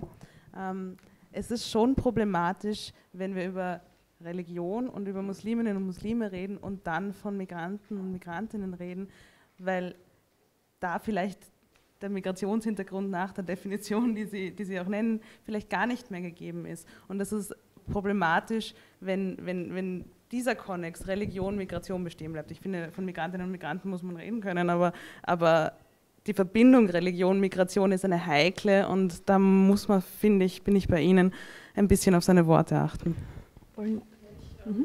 Ich, ähm, ja, genau, was die Begrifflichkeiten angeht, beziehungsweise weil vorhin auch von Bildungsaufstieg oder diese ähm, inwiefern sogenannte zweite, dritte Generation, dass die halt da sich schwer fortbewegen in der Bildungsbiografie, wollte ich nur noch anfügen, dass das genauso ähm, bei autochthonen Österreicher, Österreicherinnen genauso der Fall ist. Weil wir in Österreich einfach noch ein relativ veraltetes Bildungssystem haben. Bildung ist nach wie vor vererbbar. Und insofern, wir erkennen wohl die Problematik, aber ich finde das schade, dass sich dann die Parteien Oppositionsparteien äh, nicht darauf stürzen oder das stärker in den Vordergrund stellen und das mehr diskutiert wird. Also dass man sagt, wir erkennen die Problematik einer, äh, eines erschwerten Aufstiegs in der Bildungsbiografie, aber jetzt nicht nur auf jene, die aus erschwerten Verhältnissen kommen, sondern dass es einfach allgemein in dem Bildungssystem verankert ist und dass das angegangen gehört. Mhm. Ja, das stimmt, aber es betrifft halt zu einem ganz überwiegenden Anteil Migranten, weil wir in Österreich an den Volksschulen ähm, über die Hälfte der Menschen sind zugewandert, sind Migranten und sehr, sehr viele davon eher aus bildungsfernen Hintergründen. Und da passiert der Bildungsaufstieg nicht. Und darum finde ich es eine Frage der Gerechtigkeit, das auch zu thematisieren, dass der Bildungsaufstieg möglich sein muss. Es muss auch möglich sein, zu schauen, für welche Gruppen in der Bevölkerung ist Bildungsaufstieg besonders schwer möglich, weil die Politik auf der Grundlage von solchen Informationen dann Antworten finden muss.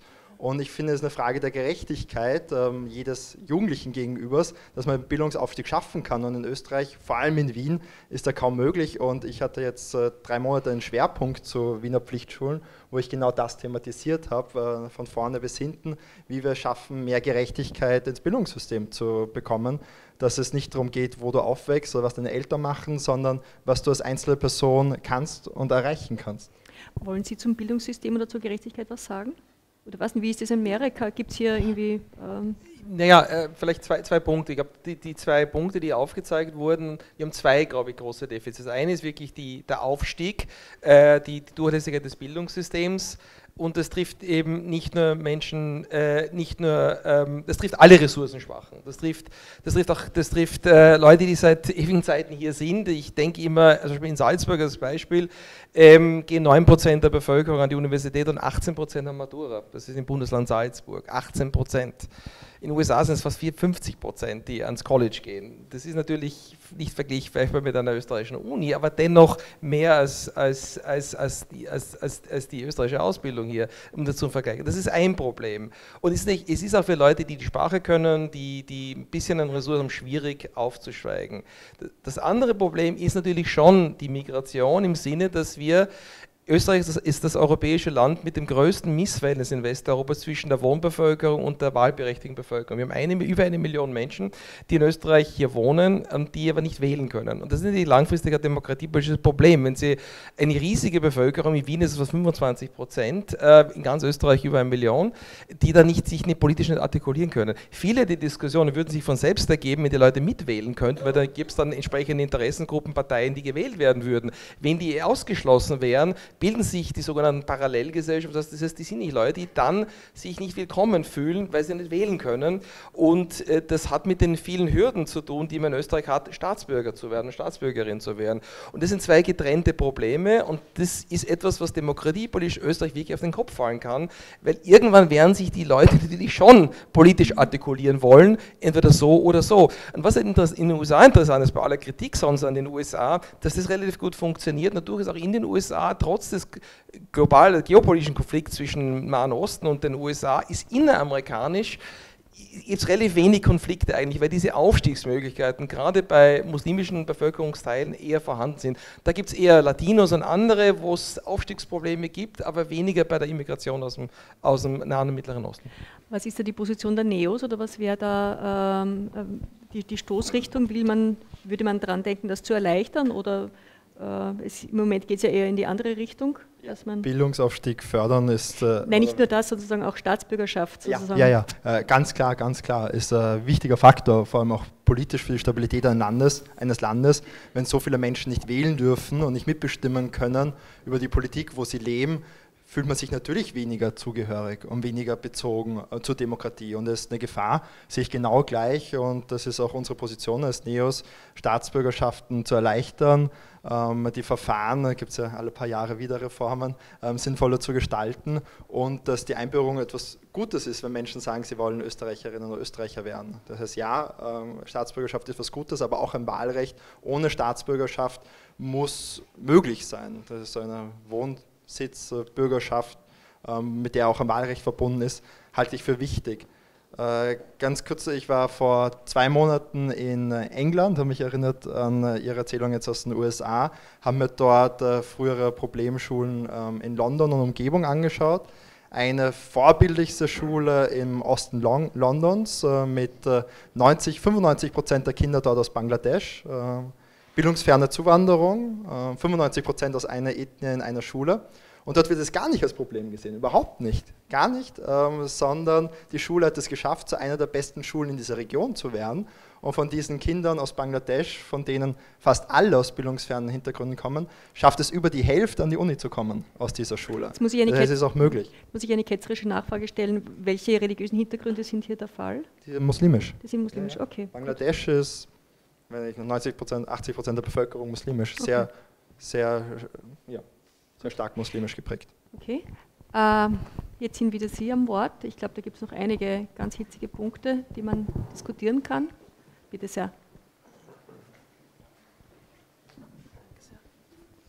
Ja, ich bedanke mich auch für die interessante Diskussion. Ähm, und ich hätte noch eine Frage dazu, inwiefern man eigentlich einen religionsfreien Raum, eben in dem Fall, wie es gefordert wird, in die Schule, als religionsneutral bezeichnen kann. Weil ähm, wenn ich eben auch an dieses, dieses, diese Vorschläge denke, fallen mir in erster Linie ähm, Beispiele aus der NMS ähm, ein. Ich bin auch Lehrerin. Und zwar ist es dort so, dass zum Beispiel auch ganz viele ähm, andere Minderheiten, zum Beispiel ähm, Roma oder auch andere serbisch-orthodox geprägte Kinder, zum Beispiel auch mit diesen Heiligenbändern ähm, in die Schule kommen. Und für sie ist das einfach ein extrem wichtiger Punkt der eigenen Identität.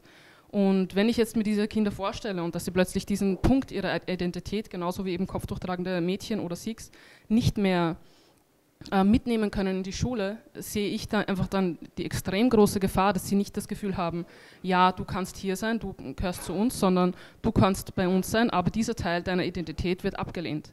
Und ich glaube, es ist eben viel mehr eben diskriminierend gegenüber allen Religionen, auch wenn wir jetzt in Österreich vielleicht eher das andere Extrem haben, dem Atheismus gegenüber.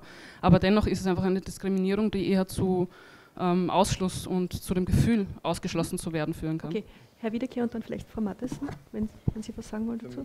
Mich ist nicht diskriminierend, weil alle gleich sind äh, vor unserer Vorstellung, vor unserem Gesetz. Äh, darum wäre es meines Erachtens auch nicht diskriminierend. Unterschied religionsneutral zu religionsfrei ist, dass natürlich im, im Ethikunterricht man sich auch über Religionen und deren Hintergründe verständigt und das nicht tabuisiert wird, ähm, sondern natürlich auch mit behandelt wird. Aber ähm, eben die sichtbare Unterscheidung nach Religionsgruppen bei Minderjährigen ähm, nicht im Mittelpunkt sein soll. Und äh, ja, manche Achtjährige haben eine Identität mit Religion, aber ähm, äh, die starke Vernetzung der eigenen Identität mit der Entscheidung, ich bin religiös, entsteht ja erst im Laufe ähm, der Jugend auch. Das heißt, wir sehen es einfach mit dem Zeit, Punkt 14, eigene Entscheidung und dann auch freie ähm, Bekleidung. Mhm. Frau Mattes, zu diesem Punkt der Identität? Ähm, ja, also ich denke, der kleinste gemeinsame Nenner ist äh, liberale Demokratie, das heißt Freiheit und Gleichheit. Das soll möglichst hergestellt sein. Das kann funktionieren, so wie in Österreich bisher durch eine inklusive religionspolitische Tradition oder durch eine laizistische durchaus auch. Aber diesen Raum zu schaffen, ist mehr oder weniger ein, ein, ein Totalumbau der österreichischen Religionspolitik. Also es ist ein großes Vorhaben. Ähm, ich halte für politisch nicht sehr realistisch, das durchzusetzen. Ähm, noch eine andere Frage ist natürlich die, wie sich das auf individuelle Integrationsprozesse, Gefühl von Zugehörigkeit, diese Fragen auswirkt. Und ähm, ich denke, dass auch Kinder unter 14 durchaus mitkriegen, wie das Anderssein der Eltern und diese Dinge politisiert sind. Und die Schule zu einem Raum zu machen, ähm, in dem das äh, sozusagen runternivelliert wird auf alles ist gleich, halte ich für, für, für schwierig in, in gewisser Weise. Also ich glaube, das funktioniert auch in laizistischen äh, Settings, wie beispielsweise in Frankreich, nur so mittelprächtig. Okay, das kann man wohl sagen. Darf ich dazu was sagen? ja, bitte.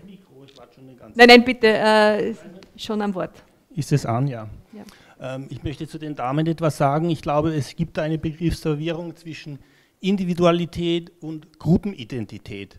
Niemand hat was dagegen, wenn ich Hut auf dem Kopf mit einem Tattoo äh, in die Schule komme oder vielleicht, vielleicht mich oute als schwul, lesbe, wie auch immer. Das ist Individualität, das ist auch Diversität, das ist tolerabel, das ist wunderbar.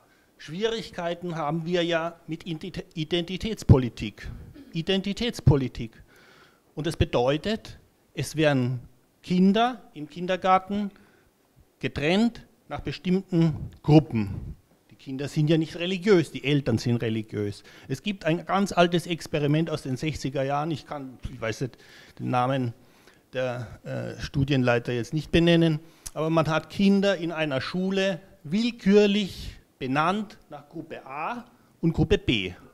Gruppe, du gehörst zur Gruppe A, du gehörst zur Gruppe B. Was ist passiert? Die Kinder der Gruppe A haben sich solidarisiert miteinander, die, Gruppe, die Kinder der Gruppe B haben sich solidarisiert miteinander und sie haben sich ihre Antipathien gegeneinander, gegen die anderen Gruppen an den Kopf geworfen. Sie sind also die Aggressivität von der Solidarität der einen Gruppe ist übergesprungen als Aggressivität auf die andere Gruppe. Und so funktioniert Religion evolutionsbiologisch betrachtet. Ja? Liebe deinen Nächsten bedeutet, liebe deine eigene Gruppe und sei feindlich gegen die andere Gruppe. Wenn man Zwietracht sehen will, dann soll man den Kindern ein gruppenidentisches, identitätspolitisches Stigmata, Stigma umhängen. Man soll sie markieren, man soll ihnen ein Nudelsieb aufsetzen, sagen, ihr seid alle Atheisten und die anderen sind alle religiös, dann haben wir den Krieg im Klassenzimmer. Danke. Okay. Gut, wer, wer will jetzt was dazu sagen? Bitte sehr. Ich glaube, zum einen ist ähm, Religion ist ja ein Bezugssystem, so wie Kultur, Sprache, Tradition ja auch. Und insofern hat das immer das Potenzial, insofern hat das immer das Potenzial, Menschen voneinander zu trennen. Und hier geht es ja darum, ähm, darüber nachzudenken, wie kann ein produktives Zusammenleben gelingen, trotz unterschiedlicher trennender Elemente. Es kann ja sein, dass in einer Klasse so und so viele eine andere Muttersprache haben, aber die gemeinsame Sprache ist Deutsch. Könnte man genauso sagen, das ist jetzt das Trennende und deswegen gibt es jetzt Klassenkampf und Klassenkrieg und ich weiß nicht was. Und ich finde es aber ehrlich gesagt auch problematisch, dass man Menschen, die ihre sexuelle ähm, Orientierung oder Tattoos oder die Beispiele, die Sie gebracht haben, das als Individualität ähm, zu versehen und all jene, die eine sichtbare religiöse Identität nach außen tragen, dass denen eine gewisse Gruppen, ähm, äh, was nicht, was, was, was war jetzt das Wort? Nicht Gruppenidentität, dass ihnen das na, danke. Und da geht es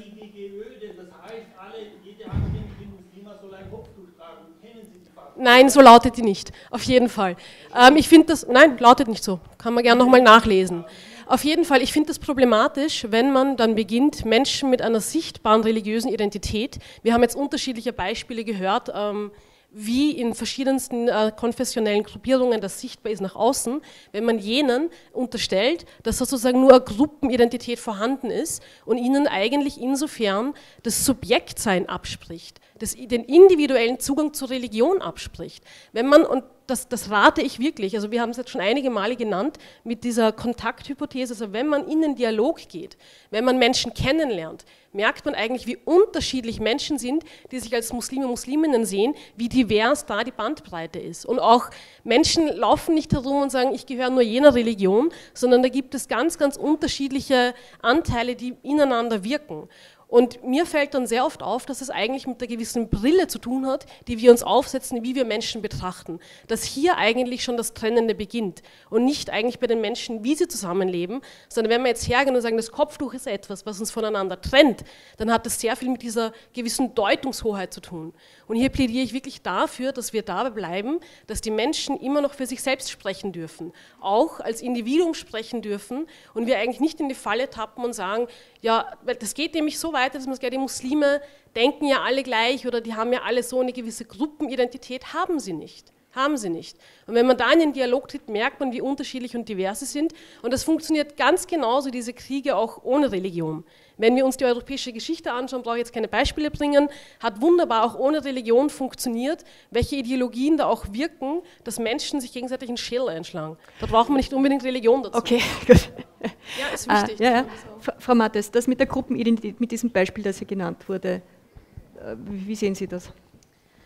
Ähm, ich ich glaube, die, die Frage, was ist eine Gruppenidentität und was ist eine individuelle Identität, ist eine ein bisschen gekünstelte, weil jede Identität sich immer auf eine Referenzgruppe bezieht. Ein Beispiel. Eine Fußballmannschaft hat ein Trikot. Das ist eine Gruppenidentität dieser Gruppe. Ja? Dieser das ist eine Uniform. Sowieso.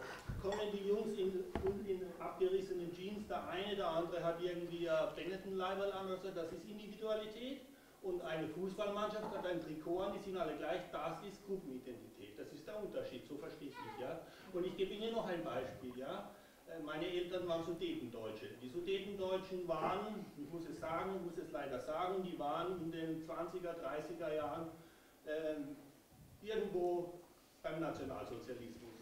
Und sie haben darauf bestanden, als deutsch erkenntlich zu sein und die Frauen haben weiße Strümpfe getragen. Nicht aus religiösen Überlegungen, sondern weil Sudetendeutsche waren und damit man sie ja sieht, das sind Sudetendeutsche und die Sudetendeutschen werden in jedem, in gar keinem Fall je einen Tschechen heiraten. So, und dann haben wir den Zwist gehabt. Verstehen Sie, was ich meine? Jetzt ist die Frage an die Damen mit dem Kopftuch hier anwesend. Können Sie sich vorstellen, einen nicht-muslimischen Mann zu heiraten? Ah, okay, danke. ja, ja, okay, gut. Danke, danke vielmals. ja, ja, okay. Uh, will jemand von Ihnen ähm, Will jemand von den Damen, also ohne, ohne Zwang sozusagen, also ehrlich gesagt würde ich gerne zu was anderem Stellung mhm. nehmen, was ja. ich für wichtiger erachte als meine Heiratsgewohnheiten. Ähm, ich bin Malis Parchment, Vertreterin der Initiative für ein diskriminierungsfreies Bildungswesen. Wir hatten schon ein sehr konstruktives Gespräch mit Herrn Wiederkehr und freuen uns auch sehr, dass äh, unsere Forderung nach einer Ombudsstelle gegen Diskriminierung aus unserem Zehn-Punkte-Plan übernommen wurde. Wir finden allerdings den Vorstoß der Neos äh, als katastrophal, um ehrlich zu sein. Ähm, die liberale Position unterscheidet sich von der rechten Position im Grunde nur dadurch, dass es sich um indirekte Diskriminierung nach dem Gleichbehandlungsgesetz handelt und nicht äh, als direkte Diskriminierung durchkommt. Ähm, dadurch, dass im Gesetzestext nicht eine explizite Gruppe herausgenommen wird, aber nur explizit eine Gruppe davon betroffen ist, handelt es sich genauso um Diskriminierung. Ähm, es wird immer die Kippa außen vor gelassen, die ist auch betroffen. Ja, es ist, ähm, wir haben heute auch einen Artikel von Alexa Weiß bekommen, ähm, in dem sie ganz stark darauf pocht, dass die religiöse Erziehung von Kindern in den Entscheidungsvollmacht der Eltern fällt wie und in welcher Religion Kinder erzogen werden, genauso wie welche Ärzte sie besuchen oder welches Essen sie essen, ob vegan oder nicht, ist die Entscheidung der Erziehungsberechtigten und nicht des Staates. Das ist mal das eine. Ähm, wir sind natürlich begeistert von dieser Idee des Ethikunterrichts, des Gemeinsamen, wenn er noch zusätzlich zum Religionsunterricht angeboten wird wir sehen ein Verbot einfach als sehr bedenklich. Also bedenklich ist äh, zugegebenermaßen eigentlich ein sehr schwaches Wort.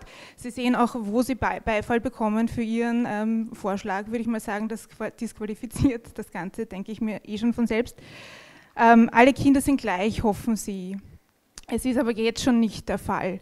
Wir sehen, dass wir in den Diskriminierungsfällen, die uns gemeldet wurden, 50 Prozent islamophoben Hintergrund haben, weitere 40 Prozent ethnische Herkunft. In 60 Prozent der religiösen Diskriminierungen ist die Religion nicht sichtbar. Deswegen ist eine Unsichtbarmachung der Religionszugehörigkeit kein Schutz vor Diskriminierung. Das ist ein Denkfehler. Es schützt nicht, es wird assoziiert durch Namen und wenn wir dann erst integriert sind, wenn niemand mehr Mustafa und Mohammed heißt, dann haben wir absolut verloren in dieser Gesellschaft. Wir müssen endlich an diesen Punkt kommen, wo Vielfalt umarmt wird, wo das eine Stärke unserer Gesellschaft wird.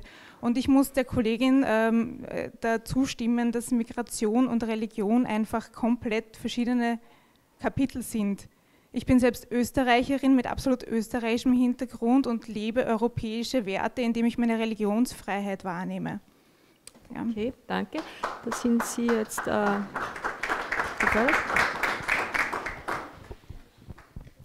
Es waren viele Punkte und äh, ich glaube viele, über die wir auch noch gerne auch persönlich diskutieren können.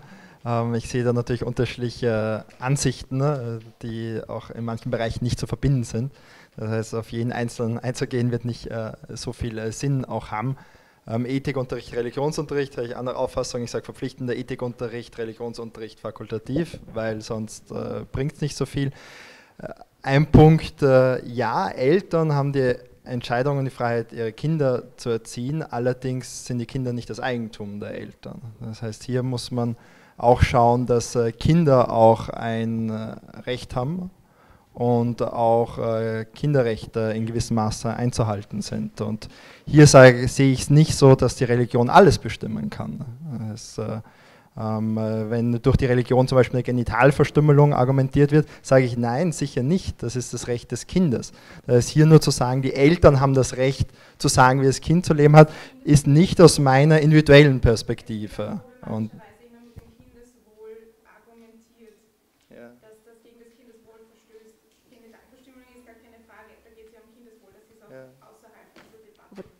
Das ist natürlich ein heißes Thema, weil das immer auch bei der Beschneidung, also sozusagen, da gibt es natürlich... Das sind für mich äh, Themen, die in Zusammenhang liegen, halt wie stark darf ich als Elternteil das Leben meines Kindes bestimmen? Oder wie stark darf im Kindergarten ähm, Religion ähm, eine Rolle spielen, dass kleine Kinder schon frühzeitig äh, ähm, religiös auf gewisse Art und Weise dann Vorstellungen vom Leben bekommen.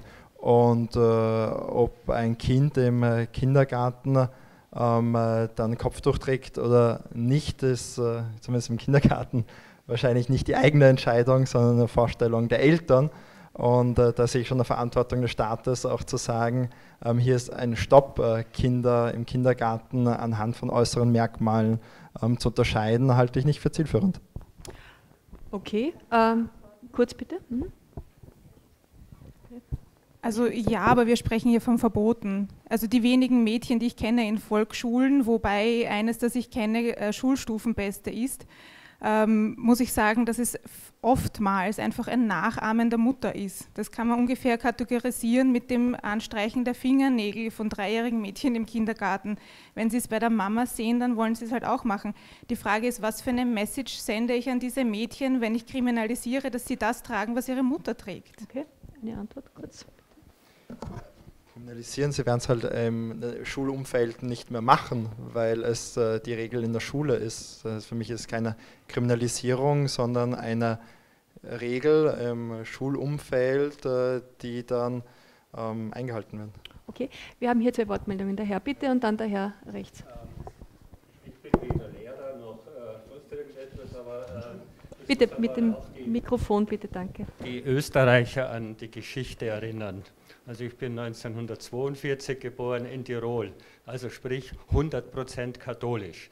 Also in den 50er Jahren war ein Evangelischer, war ja schon ein, äh, ein Heide. Ne? So, so war die Erziehung damals. Toleranz habe ich also in der katholischen Kirche nicht gelernt, die habe ich jetzt einmal gekriegt, nachdem ich aus der Kirche ausgetreten war. So einmal zu dem. Religionsfreiheit und die Eltern bestimmen, selbstverständlich wurden wir alle gezwungen, in die Kirche zu gehen, in Religionsunterricht zu gehen. Wenn man nicht hingegangen wäre, war man ein Außenseiter. So, am Gymnasium war es genauso da mit dem Religionsunterricht. Wir hatten, glaube ich, zehn oder, oder fünf evangelische Schüler, die hatten dann einmal, wurden alle zusammengefasst zum Religionsunterricht. So, ich bin für Religionsfreiheit und der Staat hat sie da rauszuhalten. Warum überlasst man das nicht einmal den Schulen, die Symbole reinzutun? Ich bin auch dafür, zur Religion zu stehen und die Symbole zu haben. Und wenn eine Schule entschließt, äh, ein Kreuz in der Schulklasse zu haben und es kommt ein Mädchen mit Kopftuch rein, deshalb fällt das Kreuz nicht runter. Und wenn das Mädchen mit dem Kopftuch reingeht, wird es auf dem Kreuz nicht erschlagen. Aber die sitzen miteinander. Und, und da ist die Gemeinschaft. Wenn ich mir halt umschaue, in, wenn ich in der U-Bahn fahre, gerade die Kinder, egal was für Farbe das sie haben oder äh, auch Religionen, was man sieht, wie nett die Kinder miteinander umgehen. Das Problem liegt bei den Erwachsenen. Da fehlt es einfach an der Toleranz. Und ich, ich, ich habe äh, auch, äh, ich habe überhaupt wenig Verständnis, weil ich das Glück hatte, 1965 schon, also in jungen Jahren nach Deutschland zu gehen, habe mein ganzes Berufsleben dort verbracht. Warum? Weil in Österreich keine Chance hatte, als kriegsbedingter Halbweise aus dem Dorf ohne Parteibuch. In Deutschland bin ich zu einer Eignungsprüfung eingeladen worden und habe meine Karriere gemacht. So, nee, und jetzt die, die zwei Sachen noch. Deswegen, Identitäten, Staatsbürgerschaft. Bin ja Österreicher? Ja. Warum? Weil ich einen österreichischen Pass habe. Und warum? Weil mein Heimatland Tirol zu Österreich gehört. Und ich bin nach wie vor gern in Wien und bin ein Wiener, aber deswegen bin ich bei den Neos auch, ich bin für ein, äh, ein Europa der Regionen und nicht der Nationen. In, in 100 Jahren, wie oft sind in Österreich die Grenzen verschoben worden? Also was soll der ganze Quatsch? Und mit der Religion ist genau das Gleiche. So, danke. Okay, was? Will jemand replizieren von Ihnen? Weil sonst haben wir die nächste Wortmeldung von dem Herrn in der zweiten Reihe. Ähm, ja, hallo. Also ich schließe mich dem äh, netten Herrn auch ganz an. Ich, äh, wie, wie, Sie auch vielleicht hören, ich bin Migrant. Ich bin seit zwei Jahren erst hier in Österreich und ähm, Europa der Region. Finde ich super cool.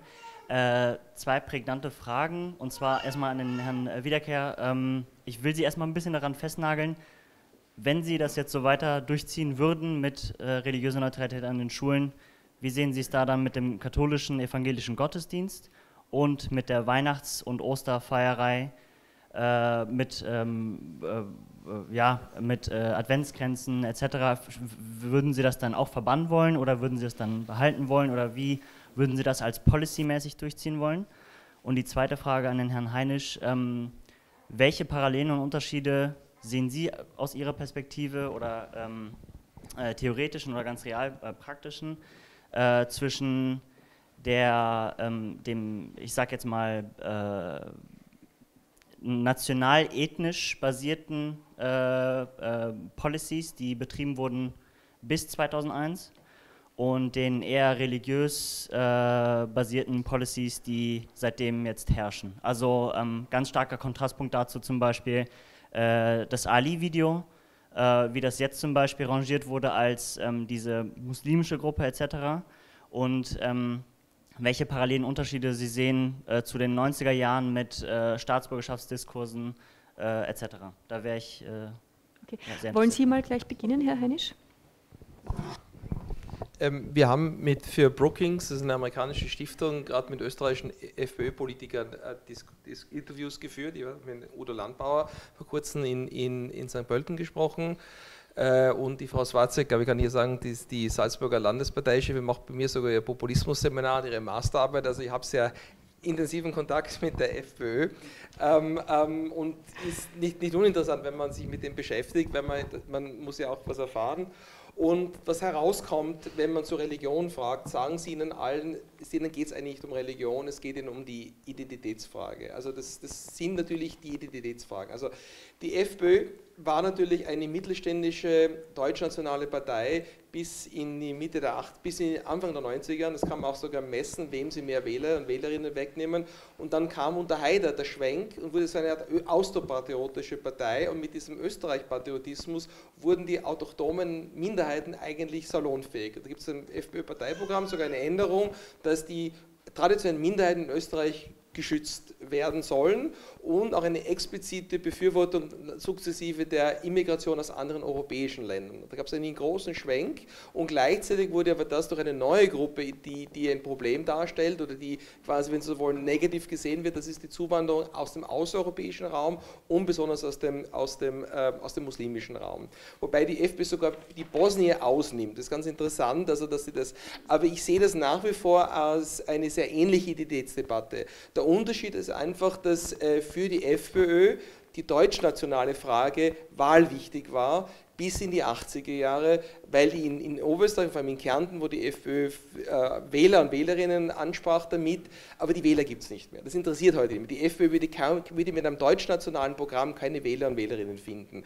Mit einer austropatriotischen, noch immer so einem diffusen Katholizismus äh, verankerten äh, einer Religionsdebatte findet sie natürlich Wähler und Wählerinnen. Ich sehe das als rein strategisches Kalkül der FPÖ, das zu thematisieren, wenn Sie so wollen, ist so ein bisschen die Kronenzeitung, also das Austrian Tabloid, die haben das da thematisiert und das, das verfolgen sie eigentlich. Und das ist ein sehr ein gutes Beispiel für die FPÖ hier zwischen Freund und Feind, zwischen dem anderen zu, zu unterscheiden. Ähm, interessanterweise würden wahrscheinlich da auch ähm, Juden und Sikhs und so weiter hineinfallen, aber das wird bewusst ausgenommen, weil die FPÖ versucht, äh, Respektabilität zu signalisieren, durch, indem sie sagt, wir sind, nicht mehr, wir sind keine antisemitische Partei, Strache fährt, geht nach Yad Vashem, fährt nach Israel und so weiter. Ähm, weil, weil, man weiß, dass das negativ besetzt ist und das auch mit der ÖVP Probleme bringen würde. Daher eben diese, und das interessiert auch die meisten Österreicher im Prinzip nicht. Das heißt, diese, das ist wenig wählerwirksam. Ich sehe die FPÖ viel weniger als ideologische Partei. Ich sehe die FPÖ als populistische Partei, die sehr bereit ist, dem Wähler Wählerinstinkten zu folgen, sehr flexibel auf neue Themen äh, einzusteigen äh, und das zu thematisieren, was ihr einen Machtvorteil in der Diskussion äh, verschafft. Und die Frage der Identität, da, da, ist sie allein auf weiter Spur, bis kurz das dann auch für sich entdeckte, aber da hat sie noch äh, Profil und das ist für sie die Möglichkeit, an, äh, Wähler, ähm, anzu, an Wähler anzubinden. Ich glaube, das ist das, das, das ist das Entscheidende. Und äh, das kann sie dann auch immer wieder noch forcieren, wenn die, wenn die Wählerstimmen zurückgehen würde, würde die FPÖ das auch noch wieder thematisieren. Ich sehe das als rein strategisches Kalkül. Der letzte Punkt, den ich sagen würde, ist vielleicht auch zu Ihnen vorher. Ich glaube, dass in einer liberalen Demokratie jeder das Recht hat, das T-Shirt jeder Fußballmannschaft ansieht. Also auch wenn es eine Gruppenidentität ist, hat trotzdem jeder Einzelne das Recht, sich für eine Gruppenidentität zu entscheiden, weil wer soll entscheiden und welches Gremium ist neutral, um zu sagen, das hört, das, da ziehe ich die Grenze. Das Problem ist ja, dass mir ja selber auch in meiner Gruppe angehört und wenn Sie mal aus dem Ausland kommen, sehen Sie ja, wie sehr ja hier auch Gruppen und kollektive Identitäten sind. Das heißt, das kann man nie voll und ganz unterscheiden. Und das kann man auch nicht rechtlich regeln. Wenn man es versucht rechtlich zu regeln, treffen sie immer eine Gruppe ganz besonders. Und da ist eben die, Unfair, die Unfairness. Und das ist eben das Problem, dass das nie gleich anwendbar ist im Alltag. Und ich glaube, wie Sie es vorher auch gesagt haben, gelebte Diversität letzten Endes ist ein Umgehen lernen, das notwendig ist und dass man das mit 14 dann lernt und vorher nicht, das ist halt sehr komisch und ich glaube, das schafft natürlich neue Probleme, die man nicht lösen wird und da schafft man einen neuen Konflikt in der Schule. Okay, wir haben jetzt einen Punkt. Es ist jetzt zwei Minuten vor acht, Sie müssen um acht weg. Sollen wir jetzt die Antwort des Herrn Wiederkehr noch haben und dann Ihr letztes in der letzten Runde? Alles klar. Gut, dann machen wir es so. Dann jetzt von Ihnen die Antwort auf die Frage, wie Sie das tatsächlich exekutieren wollen, die Policy sozusagen, gibt es dann eben keine Adventgrenze und keine, äh, keine Messen mehr. Keine Adventkranz im Rahmen eines Ethikunterrichts kann man sicher sich über religiöse Symbole auch unterhalten und sich diese Kulturen aus den Religionen auch ansehen, halte ich nicht für nicht machbar. Ein Religionsunterricht für die ganze Schule gibt es ja, noch. Schulgottesdienste gibt es sozusagen. Schulgottesdienste. Oder ein Adventkranz im, im, Kirchenraum doch freilich natürlich. Ja, verpflichtend natürlich nicht. Das ist Sache der Religionsgemeinschaften, diesen zu organisieren und nicht der Schule, sonst wäre es kein schulneutraler Raum. In unserer Vorstellung jetzt. Ja. In unserer Vorstellung. In unserer Vorstellung. Religionsneutraler Raum heißt natürlich nicht von der Schule selbst ein organisierter Gottesdienst, wenn es den noch gibt. Das wusste ich gar nicht. Ähm, das ist die konkrete Ausgestaltung. Äh, ich beziehe mich auf Sie, nicht sehr realistisch in Österreich. Das wäre ein kompletter Bruch äh, des bisherigen Systems, wie Religion und Staat äh, gemeinsam organisiert ist. Das Gedankenanstoß, der Versuch auch, die Debatte in eine gewisse andere Richtung zu bringen. Ähm, das wird nicht von heute auf morgen äh, ein streng laizistischer Staat werden, Österreich, aber wir sind am anderen Extrem von einer sehr engen Verzahnung von Staat und Kirche. Und äh, mein Anliegen wäre es, ein bisschen weiter in eine andere Richtung zu bringen. Okay. Ich möchte jetzt zur Schlussrunde kommen, nämlich ein bisschen so die Handlungsfelder aufzeigen, wie man jetzt äh, aus diesem Status quo was möglichst Konstruktives machen kann. Äh, ich möchte mit Ihnen, Frau Mattes, beginnen. Äh, wir haben jetzt sehr viel über die konkreten Lebensumstände gehört, unter denen hier jetzt äh, jeweils agiert wird. Ähm, wie würden denn Sie sagen, wie kann man hier gute Beispiele quasi ähm, des Zusammenlebens in den Diskurs einbringen und angesichts dessen, was da jetzt gerade diskutiert wird, was wäre da Ihr, Ihr Wunsch, wie sich das politisch entwickelt?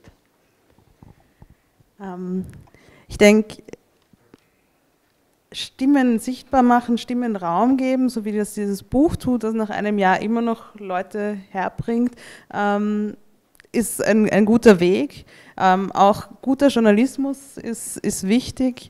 Gerade in Zeiten, wo, wo äh, Politik mit Studien gemacht wird, ist es wichtig, dass Journalistinnen und Journalisten ihre Aufgabe ernst nehmen und da auch nachhaken, was heißt das und nicht, nicht nur Ergebnisse, die, die dann gewollt kommuniziert werden, einfach so ähm, kopieren. Also dass, dass die Medien äh, eine, eine gute Rolle als Transporteur einer diversen Welt ähm, einnehmen. Das wäre mein Wunsch. Natürlich weiß ich, dass das oft in der Praxis schwierig ist. Die stehen auch unter Zeitdruck, das ist von Redaktionen oft gar nicht gewollt. Und es ist natürlich auch ein Problem, dass die, dass die schönen Einzelfallgeschichten, wo Dinge funktionieren, ähm, kaum in der Lage sein werden, gegen so einen mittlerweile so überwältigenden rechtspopulistischen Diskurs zu wirken aber es gilt es zumindest zu versuchen, denke ich.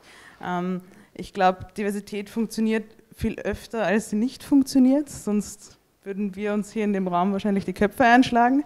Ähm, und jeder Einzelne, jede Einzelne, alle, die irgendwo politisch aktiv sind, die in öffentlichen Räumen sprechen können, können ja sich an die Fahnen heften, auch, auch diese Positivbeispiele sich, sichtbar zu machen. Ähm, für Musliminnen und besonders Musliminnen mit Kopftuch wäre es sicher wichtig, auch in, in, Positionen zu kommen, politische Positionen, sichtbare Positionen in, in öffentlichen äh, Bereichen, damit ähm, nicht diejenigen, die die Universität Salzburg reinigen, die einzigen sind, die ein Kopftuch tragen. Das ist problematisch. Ähm, ich habe Studierende mit Kopftuch, die Gott sei Dank allen Göttern sei Dank, sehr aktiv partizipieren und, und andere Bilder ähm, in die Uni hineintragen. Und davon braucht es mehr, dass, dass sich das nicht auf, auf so ein Ende der Gesellschaft ähm, zusammenstaucht. Mhm. Äh, Amani Abusara, an Sie die Frage einerseits natürlich auch, was Sie sich erhoffen von politischer Seite, aber auch inwiefern Musliminnen und Muslime selbst gefordert sind oder sich einbringen können, wenn was irgendwie auch im Namen einer Religion oder einer pervertierten Religion falsch läuft, Stichwort äh, Generation Haram oder so diese Drucksituationen, wo, wo Burschen äh, äh, Mädels unter Druck setzen?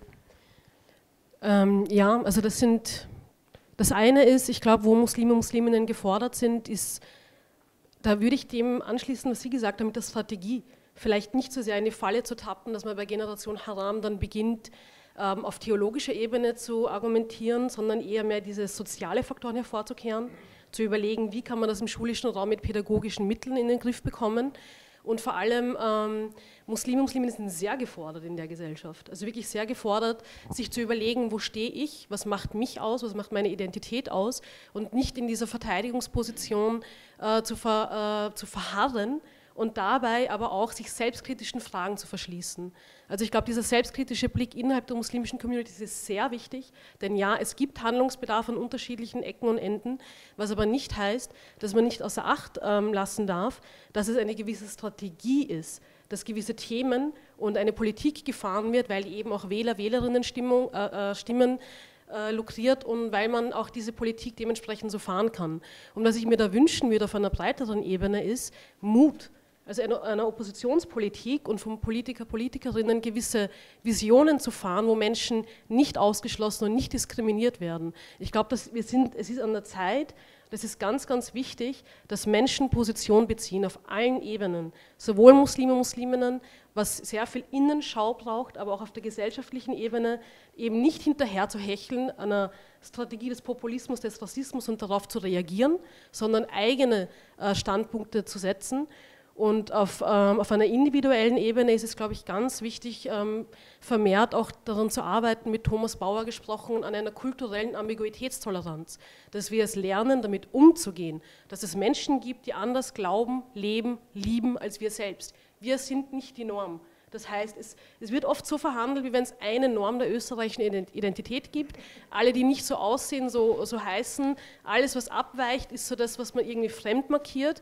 Und das gilt es in Frage zu stellen und wieder damit umgehen zu können, dass es widersprüchliche Lebensentwürfe gibt und dass sozusagen auf sich selbst gerichtet in der eigenen Lebensbiografie es genug Widersprüche gibt, um zu erkennen, dass man das auch anderen Menschen zugesteht.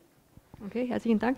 Herr Heinisch, ähm, der neue Normalzustand in der Politik ist eben, sage ich mal, populistisch äh, getriggert. Ähm, wie, welche, wie kriegt man hier alternative Diskurse, die irgendwie konstruktiv sind, zustande? Was wäre hier gefordert in Österreich? Naja, was wurde schon angesprochen? Ich meine, äh, vielleicht, wenn Sie mich nicht vorausschicken darf, ich rede jetzt nicht an einem naiven Multikulturalismus. Das, also, das kann man sehr schön zeigen, dass Menschen, das hat mit Religion oder mit, mit e, e, ethischen Differenzen wenig zu tun, Menschen vertrauen immer Menschen, die so sind, wie man selber ist. Dadurch ist auch im Dorf das Vertrauen und dann immer größer in der Stadt, weil in der Stadt treffe ich ja viel mehr unterschiedliche Menschen, unabhängig, wo die jetzt her sind. Das hat, das hat einfach mit der Diversität zu tun. Das scheint etwas sehr Ursprüngliches zu sein, dass ich immer davon ausgehe, dass jemand, der also aussieht, der so agiert wie ich, äh, mir ähnlich ist. Das, das, äußert sich dann in unterschiedlichen Vertrauenindex. Kann man messen, Vertrauenindex im kleinen Dorf oder Vertrauen in der Stadt nimmt er ab auch in einer Stadt, wo nur, wo jetzt sagen wir, äh, alle Menschen dieselbe Religion hätten und alle irgendwo den ethnischen Background hätten, trotzdem wäre das unterschiedlich. Und wenn jetzt Zuwanderung kommt, die Leute also noch anders empfunden wären ähm, oder die sich anders geben, dann, dann sinkt das äh, Vertrauen natürlich zuerst mal. Und jetzt ist die Frage, wie die Meinungsführer und Führerinnen mit dem umgehen. Ob ich das Ganze dann eskaliere, indem ich dann das äh, noch verstärke, dieses Gefühl, oder ob ich versuche, durch Aufklärung, durch äh, öffentliches Auftreten einfach die Dinge anzusprechen. Wenn Sie Österreicher und Österreicher fragen, wie viele äh, Moslems gibt es in Österreich, kommen Schätzungen 20, 30 Prozent, dabei sind es knapp über 7 Prozent. Und das zeigt Ihnen ja, was hier passiert. Ähm, wenn ich einfach über die, die, die realen Verhältnisse sprechen würde und wenn die Politik sich mehr an dem orientieren würde, wenn also nicht rechte Politiker, sondern andere Politiker einfach eine Meinungsführer versuchen, das wieder an sich zu reißen und einfach dagegen sprechen, sprechen. Wir haben auch, Sie haben es vorher schon angesprochen, man sieht in der letzten österreichischen Wahlstudie sehr schön, dass genau dort, wo es kaum äh, Zuwanderung gibt, die Vorteile am größten sind. Das ist fast wirklich klischeehaft. Also die Korrelation, die extrem ausgeprägt ist. In Wien ist sie relativ gering ähm, und äh, in Vorarlberg ist sie auch sehr gering, ist sehr heterogen, aber in Teilen Kärnten ist sie extrem hoch, wo es keine Zuwanderung gibt. Das heißt, ähm, es wäre immer notwendig, einfach die Dinge so auszusprechen und dass die Menschen mit Meinungsführerschaft einfach die Dinge auch so benennen. Letzten Endes glaube ich, dass wenn die Mechanismen funktionieren, das heißt, wenn Diskriminierung abgebaut wird, wenn Menschen gleiche Rechte haben, lösen sich diese Probleme von selber. Ich glaube, wir haben dann eine Sozialisierung in ein System und diese Dinge lösen sich auch von selber. Wenn Menschen politisch mitbestimmen können, setzen sie ihre Interessen durch, passen sich an die Gesellschaft an. Die Gesellschaft ändert sich jedoch, das sind elf natürliche Prozesse, wenn man sie nur lässt wir dürfen nicht vergessen, dass permanent dieser Prozess politisch manipuliert wird und daher haben wir diese Konflikte. Das sind teilweise bewusst konstruierte und gemachte Konflikte. Wenn man dagegen ankämpft, hätten wir die Probleme auch viel weniger. Okay, herzlichen Dank. Jetzt noch einmal ein bisschen Advocato Diablo ganz am Schluss. Sie haben gesagt, Probleme lösen sich von selbst, man muss die realen Verhältnisse anschauen. Da fällt mir natürlich jetzt wieder die Wiesinger ein, die sagt, man hat, man hat das totgeschwiegen, ich spreche das jetzt mal aus. Äh, da ist sozusagen die Überleitung zu Ihnen. Was sind jetzt die Herausforderungen äh, der NEOS? Wie wollen Sie sich positionieren? Äh, hier zwischen populistischen Strömungen und, und, realen oder auch nicht Problemen einen Weg zu finden. Mit äh, offenem Herz und offenem Auge, äh, sowohl als auch. Wiesinger Buch, äh, klassisches Beispiel, wichtig, dass Probleme endlich an die Öffentlichkeit kommen, wurden lange verschwiegen. Vieles, was Frau Wiesinger schreibt, wurde lange im Schulsystem unterdrückt, dass man darüber schreibt oder darüber redet vom Stadtschulrat. Jetzt kommt das heraus, ist wichtig. Die Frage ist die Ableitung. Macht man aus den Problemen einen Kulturkampf, Christenland, gegen Islam oder nimmt man sachpolitischere Lösungsvorschläge? Und ich halte den ersten Vorschlag, dieses Auseinanderdividieren der Gesellschaft, für massiv gefährlich, für ganz, ganz eklatant gefährlich und es ist in der, Politik, in der Politik leider immer stärker auch dieses Thema, das gegen den anderen zu sein. Politisch, jetzt für mich als Lokalpolitiker, müssen wir schaffen, in eine Erzählung zu kommen, dass Wien natürlich eine Zuwanderungsstadt ist, eine multikulturelle, aber auch eine multireligiöse, dass nicht äh, es darum gehen sollte, woher man kommt, sondern für alle Möglichkeiten geschaffen werden und auch, wie man es in der Politik schafft, die Zugehörigkeit äh, zu einer inklusiveren Identität herzustellen, zu ich bin Europäer oder ich bin Österreicher. Und äh, dieses Narrativ, äh, dieses äh, wir fühlen uns zugehörig, unter, unabhängig von welcher Religion oder welcher Nationalität, ähm, wenn man in Wien wohnt, äh, zu Wien, äh, halte ich für sehr, sehr wichtig. Ähm, ich sehe darin eine Aufgabe auch für mich als Oppositionspolitiker hier dahingehend auch die Sprache zu finden. Ich fand die Diskussion heute sehr gut, hat gezeigt, dass man auch sachlich über heikle Themen diskutieren kann. Wenn ich die öffentliche Diskussion so wahrnehme, ist das oft nicht so der Fall. Ähm, darum freue ich mich, dass es hier auch möglich war. Ganz herzlichen Dank. Äh, nur ganz kurz, es, ich habe mich auch gefreut, dass es sachlich ge geblieben ist. Äh, es kann auch quasi auf einer Metaebene lustig sein. Ich empfehle Ihnen noch einmal den Film, womit haben wir das verdient. Das Interessante ist, dass Menschen mit ganz unterschiedlichen Positionierungen zu dieser Frage in gleichermaßen irgendwie gut und amüsant gefunden haben. Also das ist auch ein, ein Phänomen in Zeiten wie diesen. Ich bedanke mich ganz, ganz herzlich für Ihr Kommen und wünsche Ihnen noch einen schönen Abend. Danke sehr.